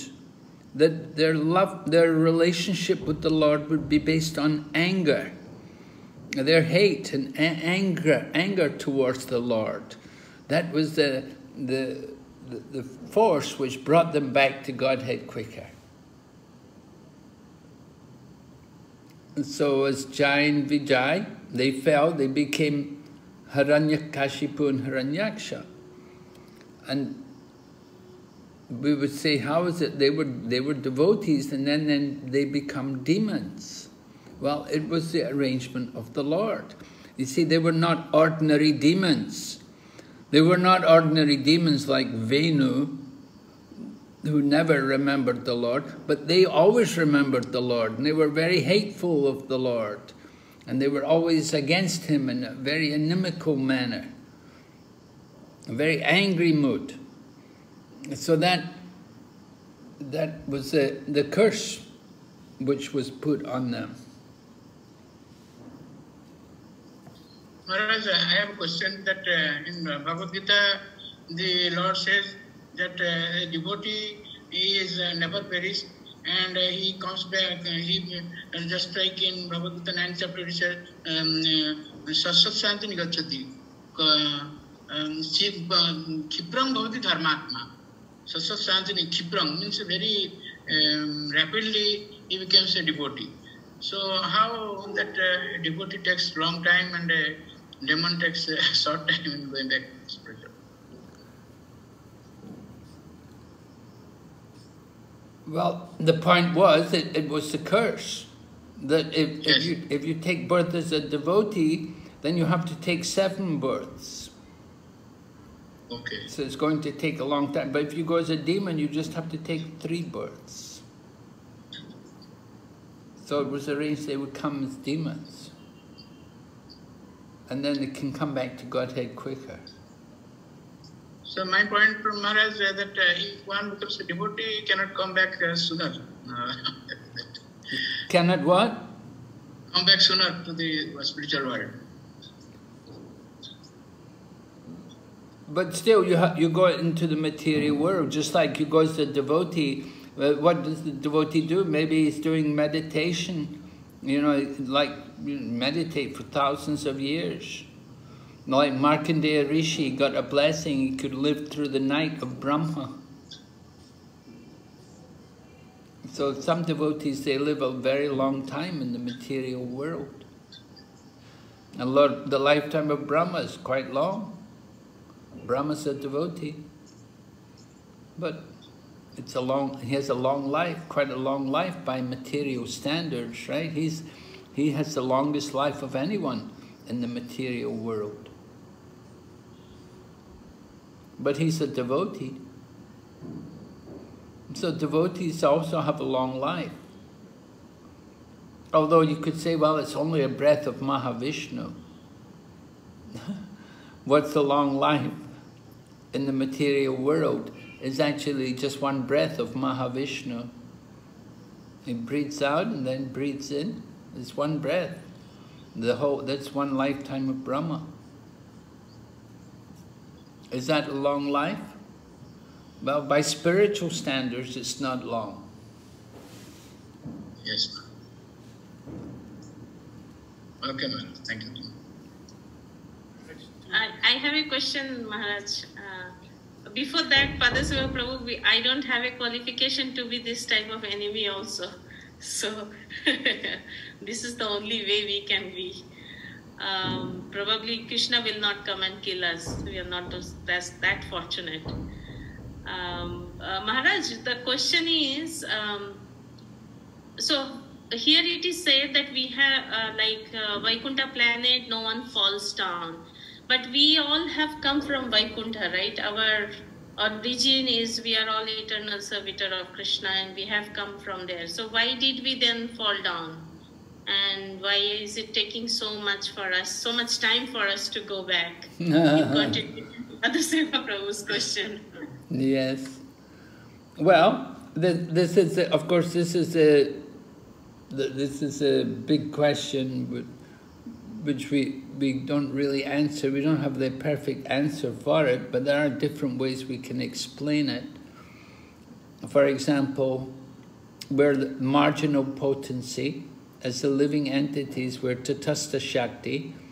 So even though we're in the spiritual world, we're the Tatastha Shakti, and we do have that free will, that at any moment we want to leave there, we can leave. And so, you know, we have that free will. Krishna doesn't force us that we have to stay there because we are Tatastha Shakti. And so at any moment we can misuse that free will and come into the material world. So that's what happened. The vast majority of souls are in the spiritual world, but, you know, we, we somehow chose to come to this material world.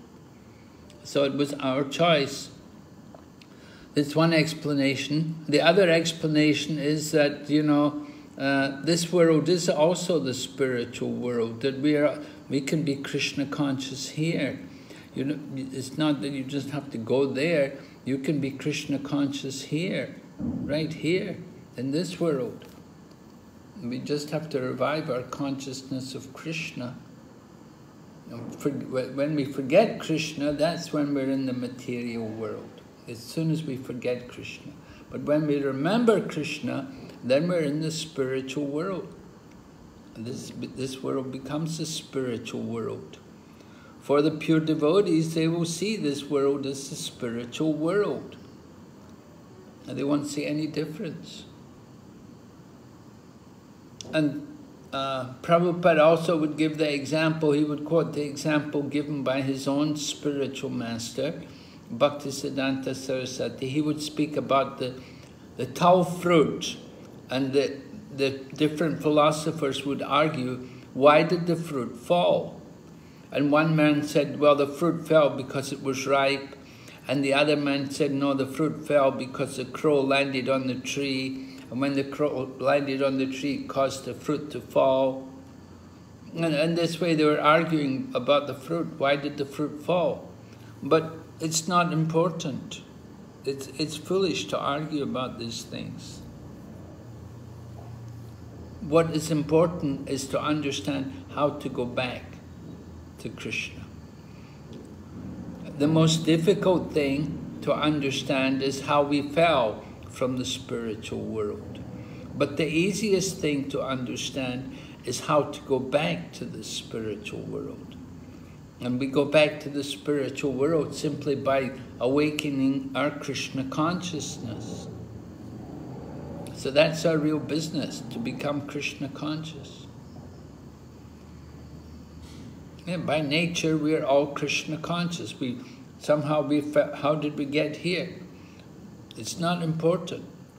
Just try to understand how to get back, how to go back to Krishna consciousness. Thank you, Maharaj. There is a nice uh, article you can read. Jayadvaita Swami has written about it. Why did we fall from the spiritual world? Uh, if you go to Jayadvaita Swami's website, he's got it there. Or I can also post it. I'll give it to uh, Prabhu and he can send it to all the members in the group. The different arguments about how we came to this material world. Because naturally it's going to come up. Everybody will want to know. You know Krishna says in Bhagavad Gita, one who comes to my abode never leaves. So how did we get here? Somehow we're here. We have to understand we have free will. We're Tatastha Shakti. We cannot take away our independence.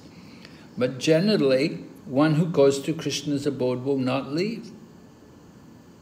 That's the general principle. But if we want to leave, he won't force us to stay. We have that free will. Okay. So sometimes it happens, uh, these different situations, just like Jai and Vijay, you know, they have to go to the, the spiritual, they have to go to the material world. So uh, Prabhupada writes about this in a purport here, in the final purport of this chapter. He says, uh, Seeing all these reverses affect devotees, one should not be disturbed. One should simply understand that in these matters there must be some plan of the Supreme Personality of Godhead. Just like we may have some, you know, we had very powerful preachers, we had some wonderful preachers. I often reflect about some of the wonderful devotees who have left Prabhupada's mission, you know, wonderful preachers like uh, Bhakti Tirtha Swami and Bhakti Swarup Damodar Swami and Tamal Krishna Goswami, these kind of people, they were such wonderful devotees. You know, so somehow Krishna took them away. And, and the, in, in Prabhupada's time, there was a man he was a, a lecturer in the university and he was a devotee. It was right in the beginning of our movement. In Gorakhpur, there was this one man there. He was a very good devotee, but somehow he died. So we may wonder how Krishna can take these devotees, how he can, you know, cause these difficulties for devotees. Just like Haridas Thakur, He's such a great devotee, but still he got beaten in market 22 marketplaces. And then the Pandavas, they suffered also so much, so many reverses. And Draupadi is also such a great devotee, but she suffered so much. And then Maharaj Ambarish, Maharaj Chitraketu, there's so many examples. So we see devotees, they do suffer reverses, we should not be disturbed. We should simply understand that in these matters there must be some plan of the Supreme Personality of Godhead. The Bhagavatam's conclusion is that a devotee is never disturbed by such reverses. He accepts even reverse conditions as the grace of the Lord. One who continu continues to serve the Lord, even in reverse conditions, is assured that he will go back to Godhead, back to the Vaikuntha planets. Of course, that's stated, that's uh, the famous verse in 10th canto Srimad Bhagavatam. Tate nukampam sushamik Right? One who goes on serving Krishna and tolerates all the difficulties then it becomes his rightful claim to go back to Godhead.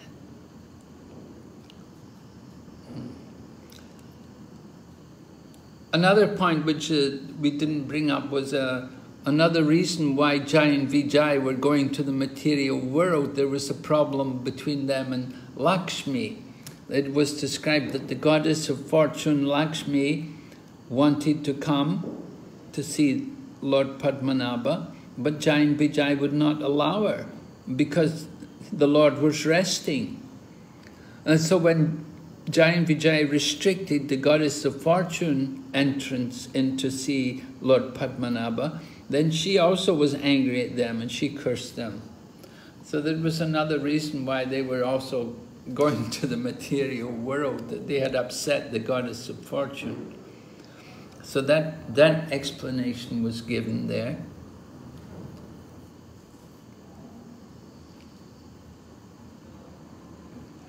Okay, so uh, are there any questions? Yes. We should never take up, even if we get a job as Jai Vijay, we should never take up that thankless job then. Because as a guard, he needs to do, do his duty, but he cannot because he will be cast from here and there. Mm. Yes.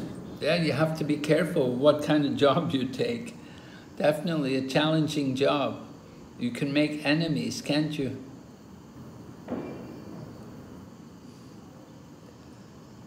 Yeah, some sometimes like that. You, you, not all jobs are so pleasing. You make some enemies as well as some friends.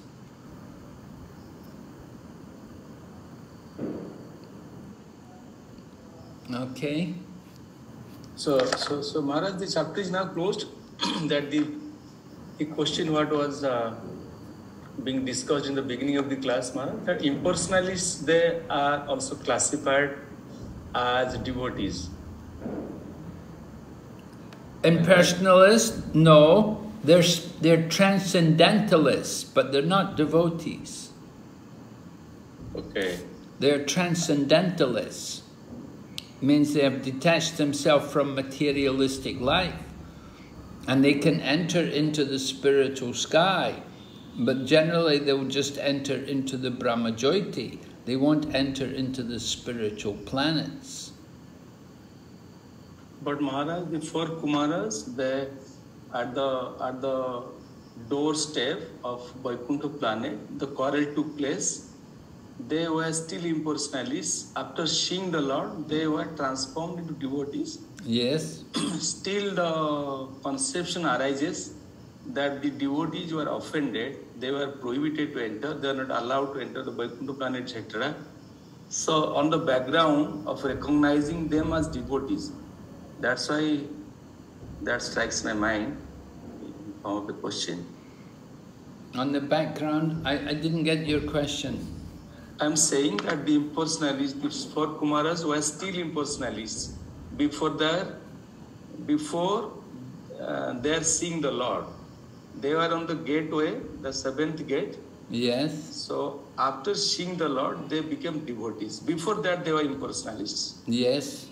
Right. So how they are recognized as devotees by the Lord, that means Jai Vijay committed offense against them by not allowing, allowing them to enter inside. Uh, yes, but Jain Vijay was arranged by the Lord. You know that it was a, this whole incident was the arrangement of the Lord, so that the Lord, so that Jain Vijay will can go to the material world, and then they can fight with the Lord. Because the Lord desires to have a good fight, a good battle. He enjoys this pastime. So he arranged that these two gatekeepers would go there, become demons, and they'll give him a good battle. Okay. Yes, Maharaj. Now, in, in connection with this question, then in text 31, uh, that Lord advised Jayavijay to perform mystic yoga in anger. Why they were not advised to perform devotional services? Mystic yoga in anger because they're going as the demons, they're going as the enemies of the Lord. The Lord wants to have a fight. So it was arranged that they would go in that mystic yoga of anger, and in this way they'll give a greater battle to the Lord.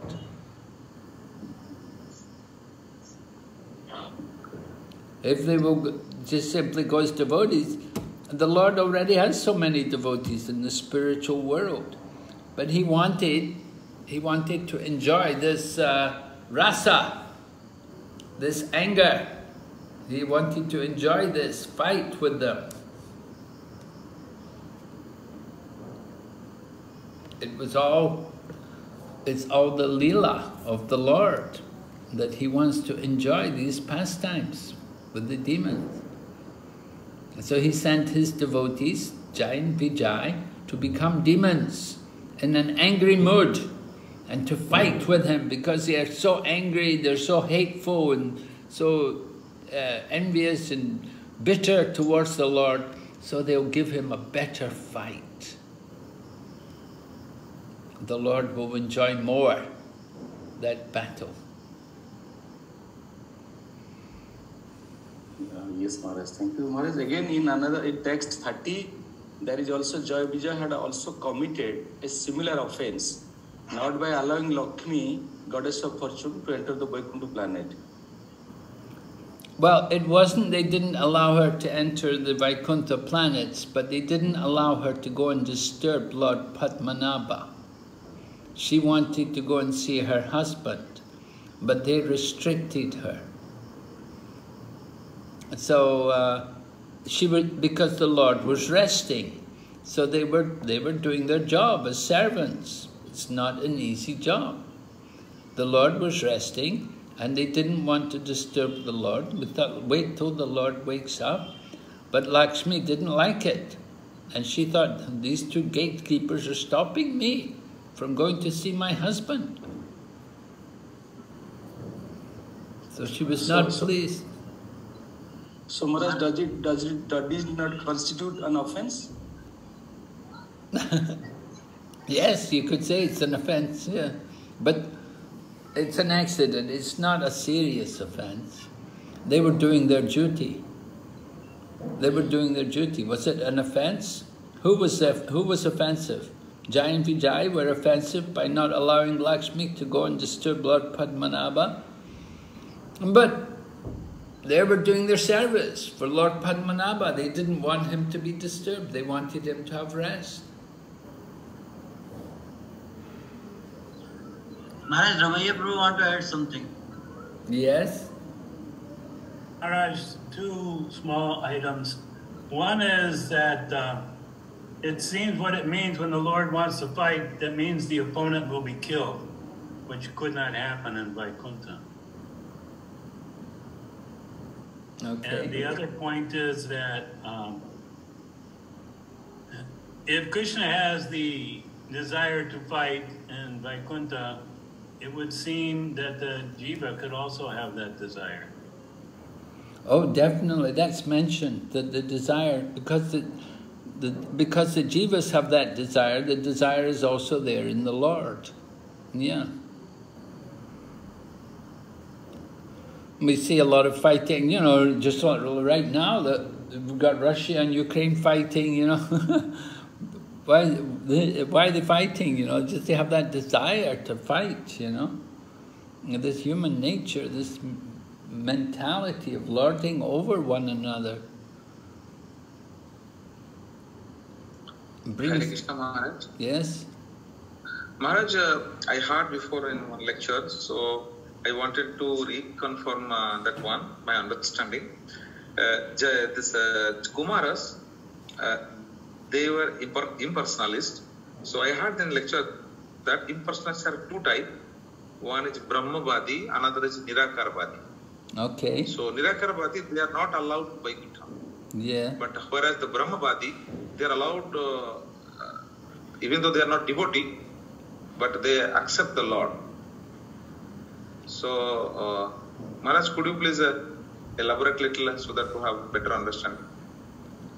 Well, we said the Brahmavadis, they understand the Brahman, they're attracted by the Brahman, they're just not attracted so much to devotional service. Their attraction is more for the Brahman. So just like with Jai and Vijay, they never had the opportunity to actually see the Lord. So they had never awakened their interest towards devotional service. Their interest was simply on contemplating the Brahman. And they, they simply absorbed themselves in contemplating the Brahman. But they had heard about the Supreme Brahman, they'd heard about the Lord. Lord Brahma had told them about the Lord. They'd heard about him, but they hadn't taken it very seriously. They were more inclined towards the Brahman. And that's how they became, they were simply Brahmagyanis. And so they entered into the spiritual world, but when they actually met with the Lord directly, then there was a change in the heart.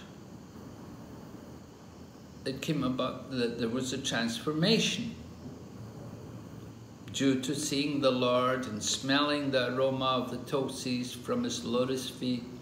It entered their nostrils and it brought about a change in their heart.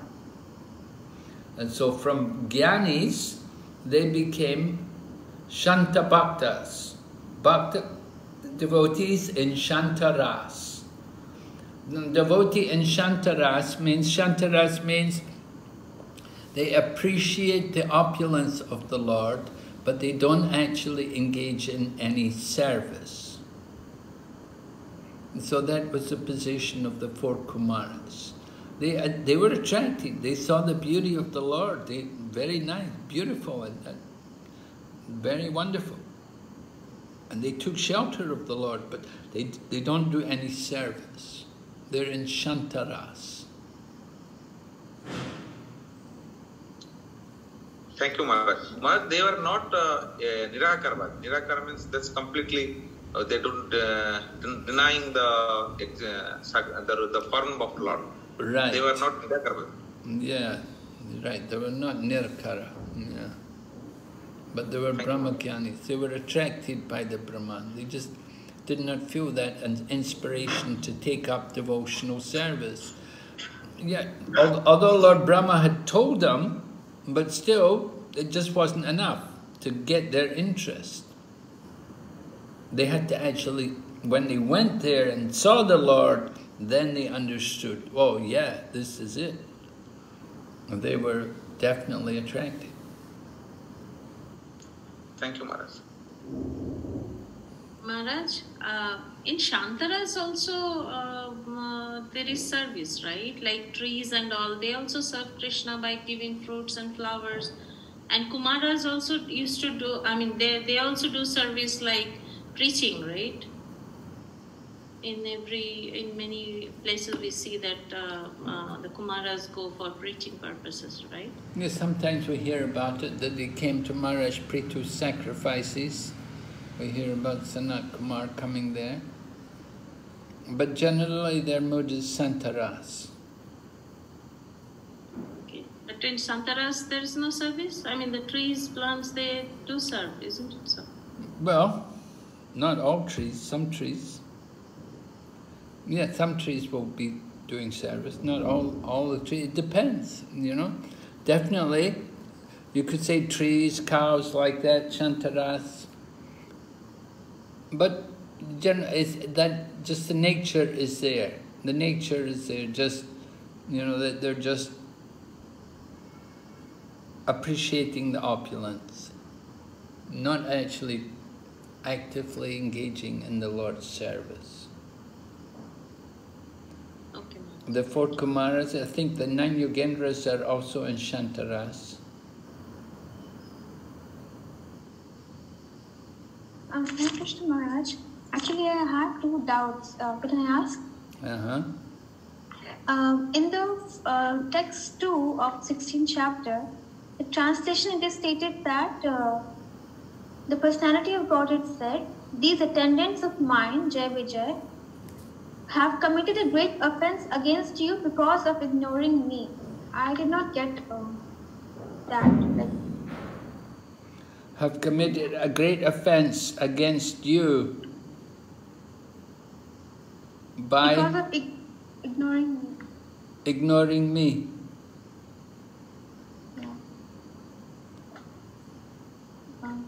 So I did not get how like Krishna Singh they ignored because of uh, this because they, they were ignoring Krishna. So I did not get this. Well, the four Kumaras, oh, Jai and Vijay have committed an offense.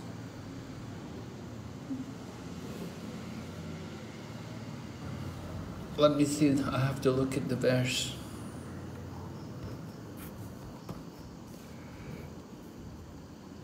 Text number two, eh? Yes, yes, Maharaj. In the verse or in the purport? It's in the uh, translation, yeah. Yeah, Jain Vijay, by name, have committed a great offense against you because of ignoring me. well, they've committed the offense against the four Kumaras by ignoring me. In other words, they've gone against it, the will of the Lord. The will of the Lord. They should not have stopped, the four Kumaras. So the, the four Kumaras are also, you know, they're also dear associate, they're servants of the Lord. They're not as intimate as Jai and Vijay. Jai and Vijay are more closely connected to the Lord, but the four Kumaras are also, you know, they're, they're very senior in the universe. They're the oldest sons of Lord Brahma. And so they have that free will that they can come into the spiritual world and that they can come into the Vaikuntha planets. But uh, Jai and Vijay have restricted them. Right, Prabhupada said, this is a remarkable fact in the dealings of the Lord and the servitor, as seen in the present incident. Offending a devotee, one neglects the Supreme Lord himself. So that's the point. This word, atikraman, offending a devotee, by offending a devotee, we neglect the Lord because the, the devotee is the representative of the Lord. And if we don't properly respect the devotees, then it's an offense against the Lord. And the Lord will take it more seriously. The Lord can tolerate offenses against himself, but he cannot tolerate offenses against his devotees. So the devotees, they have taken shelter at the lotus feet of the Lord. Now here you have the four Kumaras, they have come into the spiritual world. Of course, they may, we may say, well, they're not devotees yet, they're Brahmagyanis, but they're very elevated souls. They're saintly persons. They're dedicated to self-realization. They may not be fixed in devotional service yet, but still they're very, very elevated souls, and we should respect them. Hmm? So they've come to the spiritual world, and they should be given respect. And if we don't properly respect them, then it's an offense against the Lord also. Then the Lord is not pleased. Uh, another question was, uh, in the text 15, the in word to word, the meaning of Parmeshtya is of the Supreme Personality of Godhead. And uh, in the purport, okay, I got it. When Parmeshtya means the opulence of Brahma. Oh. So maybe, uh, it, does it mean because opulence of Brahma coming from Supreme Personality of Godhead, that's why of the Supreme Personality of Godhead is like that. In the word to word translation. In the word for word translation? Uh, the meaning is of the Supreme Personality of Godhead, and the purpose, the permission meaning is uh, opulence of Brahma.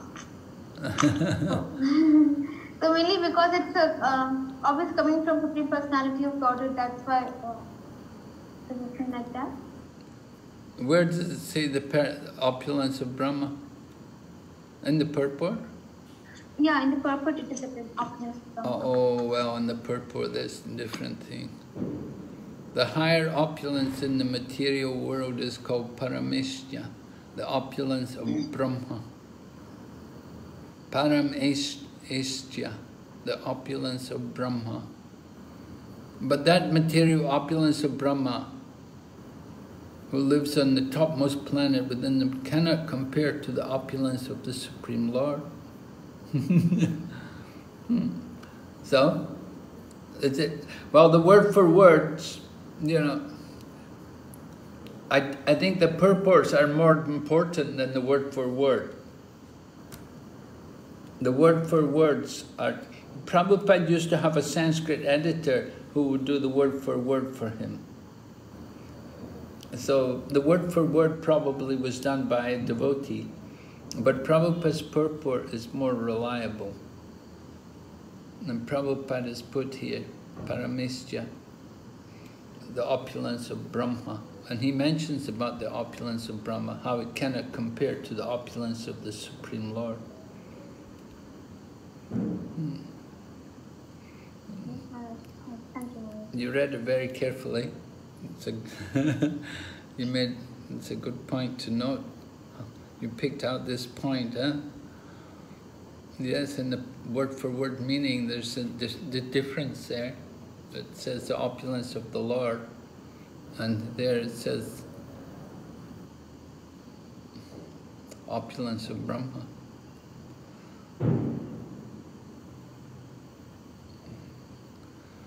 How to?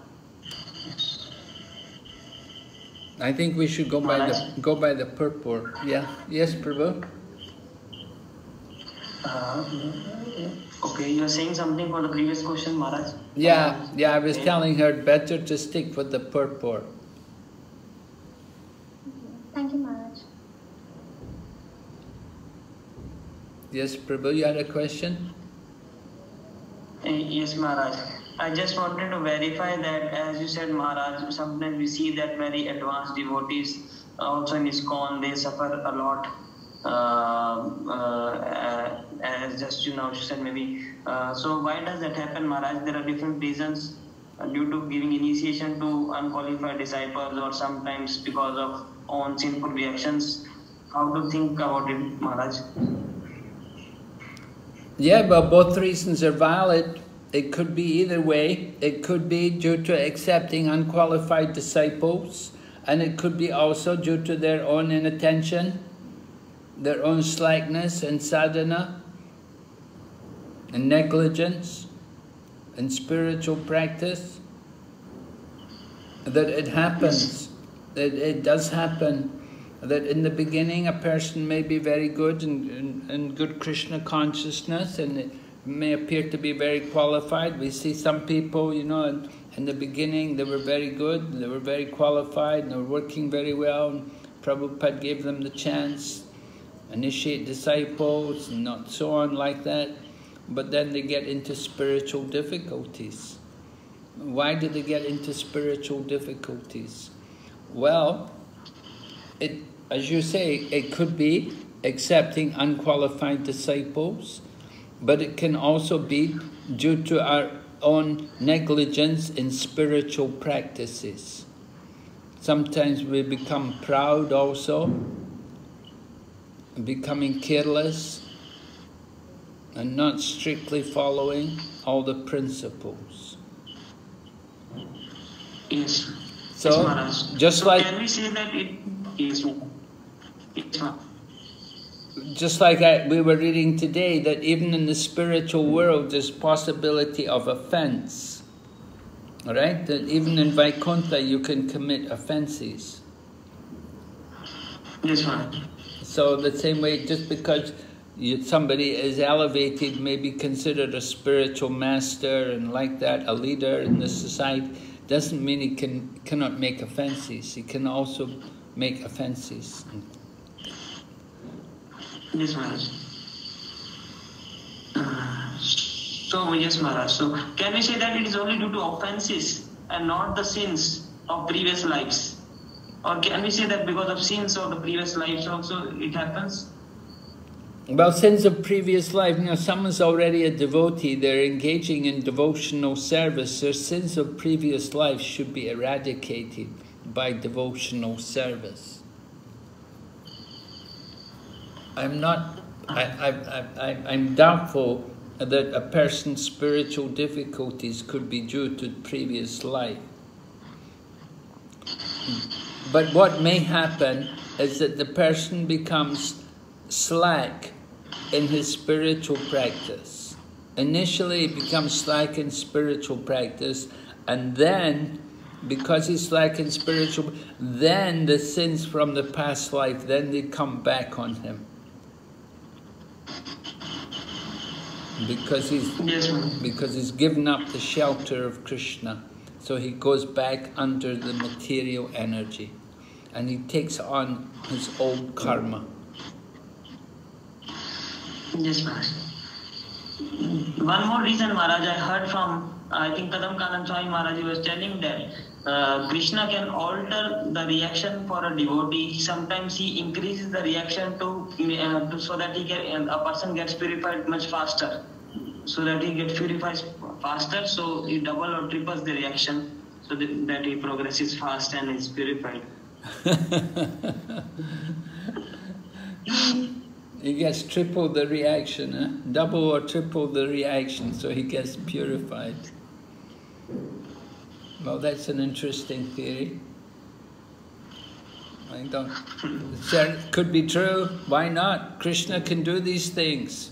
Krishna certainly can do these things to us just to purify us, to bring us out of our ignorance, and to make it just like we saw in, in Srimad Bhagavatam, you have the example of Chitraketu, how Chitraketu was cursed by Parvati and he became Vritrasura.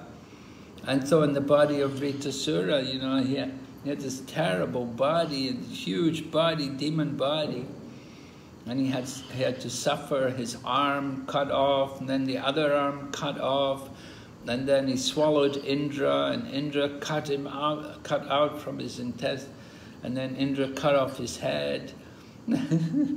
so, you know, this was, this was, you could say this was incredible karma, but he got rid of all that karma, he could go back to Godhead. So sometimes, as you say, triple suffering is to get rid of all the karma just so that make it quicker to go back to Godhead. Mm-hmm. Yes, Maharaj. So there are many reasons for suffering. Yeah, the, the, the, the suffering which the devotee goes through is not ordinary. That usually we don't think of the suffering to be karma. If, if he's still a devotee, if he's still in Krishna consciousness and he's suffering, it's not karma, but it's special mercy of Krishna. Sometimes, just like the Pandavas suffered so much, it's to show the greatness of their devotion. And you can see Haridas Thakur, it's to show Haridas' unflinching faith in the holy name, that he could be beaten so much, but he just tolerated it. So to bring out the greatness of the devotee, sometimes Krishna puts the devotee through these difficulties to show how steadfast they are despite so many difficulties, that they'll never give up the shelter of Lord Krishna. But it's not karma. Yes, yes, Maharaj. Yes, Maharaj. And at the small point, Maharaj, this uh, the the Veer rasa, how can it be a rasa if it is not present in the spiritual world and Krishna has to come to the material world to taste it? Uh,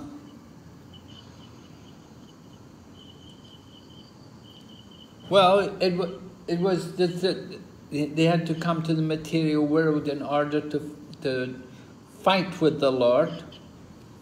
That fighting spirit, and as we heard, Ramya Prabhu was pointing out, killing also, you know, the bringing about the actual death of the other person, killing the person. And So that's in the material world. You're not going to do like that in the spiritual world. There's none of that going on in the spiritual world. But it will be much greater drama, much more intense in the material world. Hmm. Yes.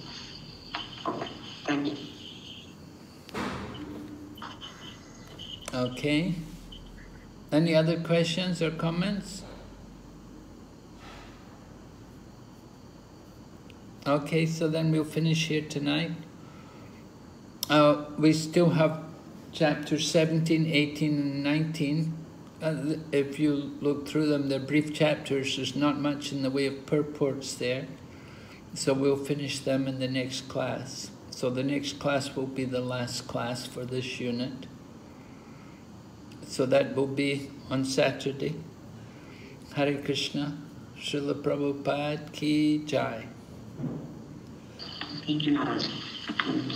Lord Bhakta Vrinda Ki.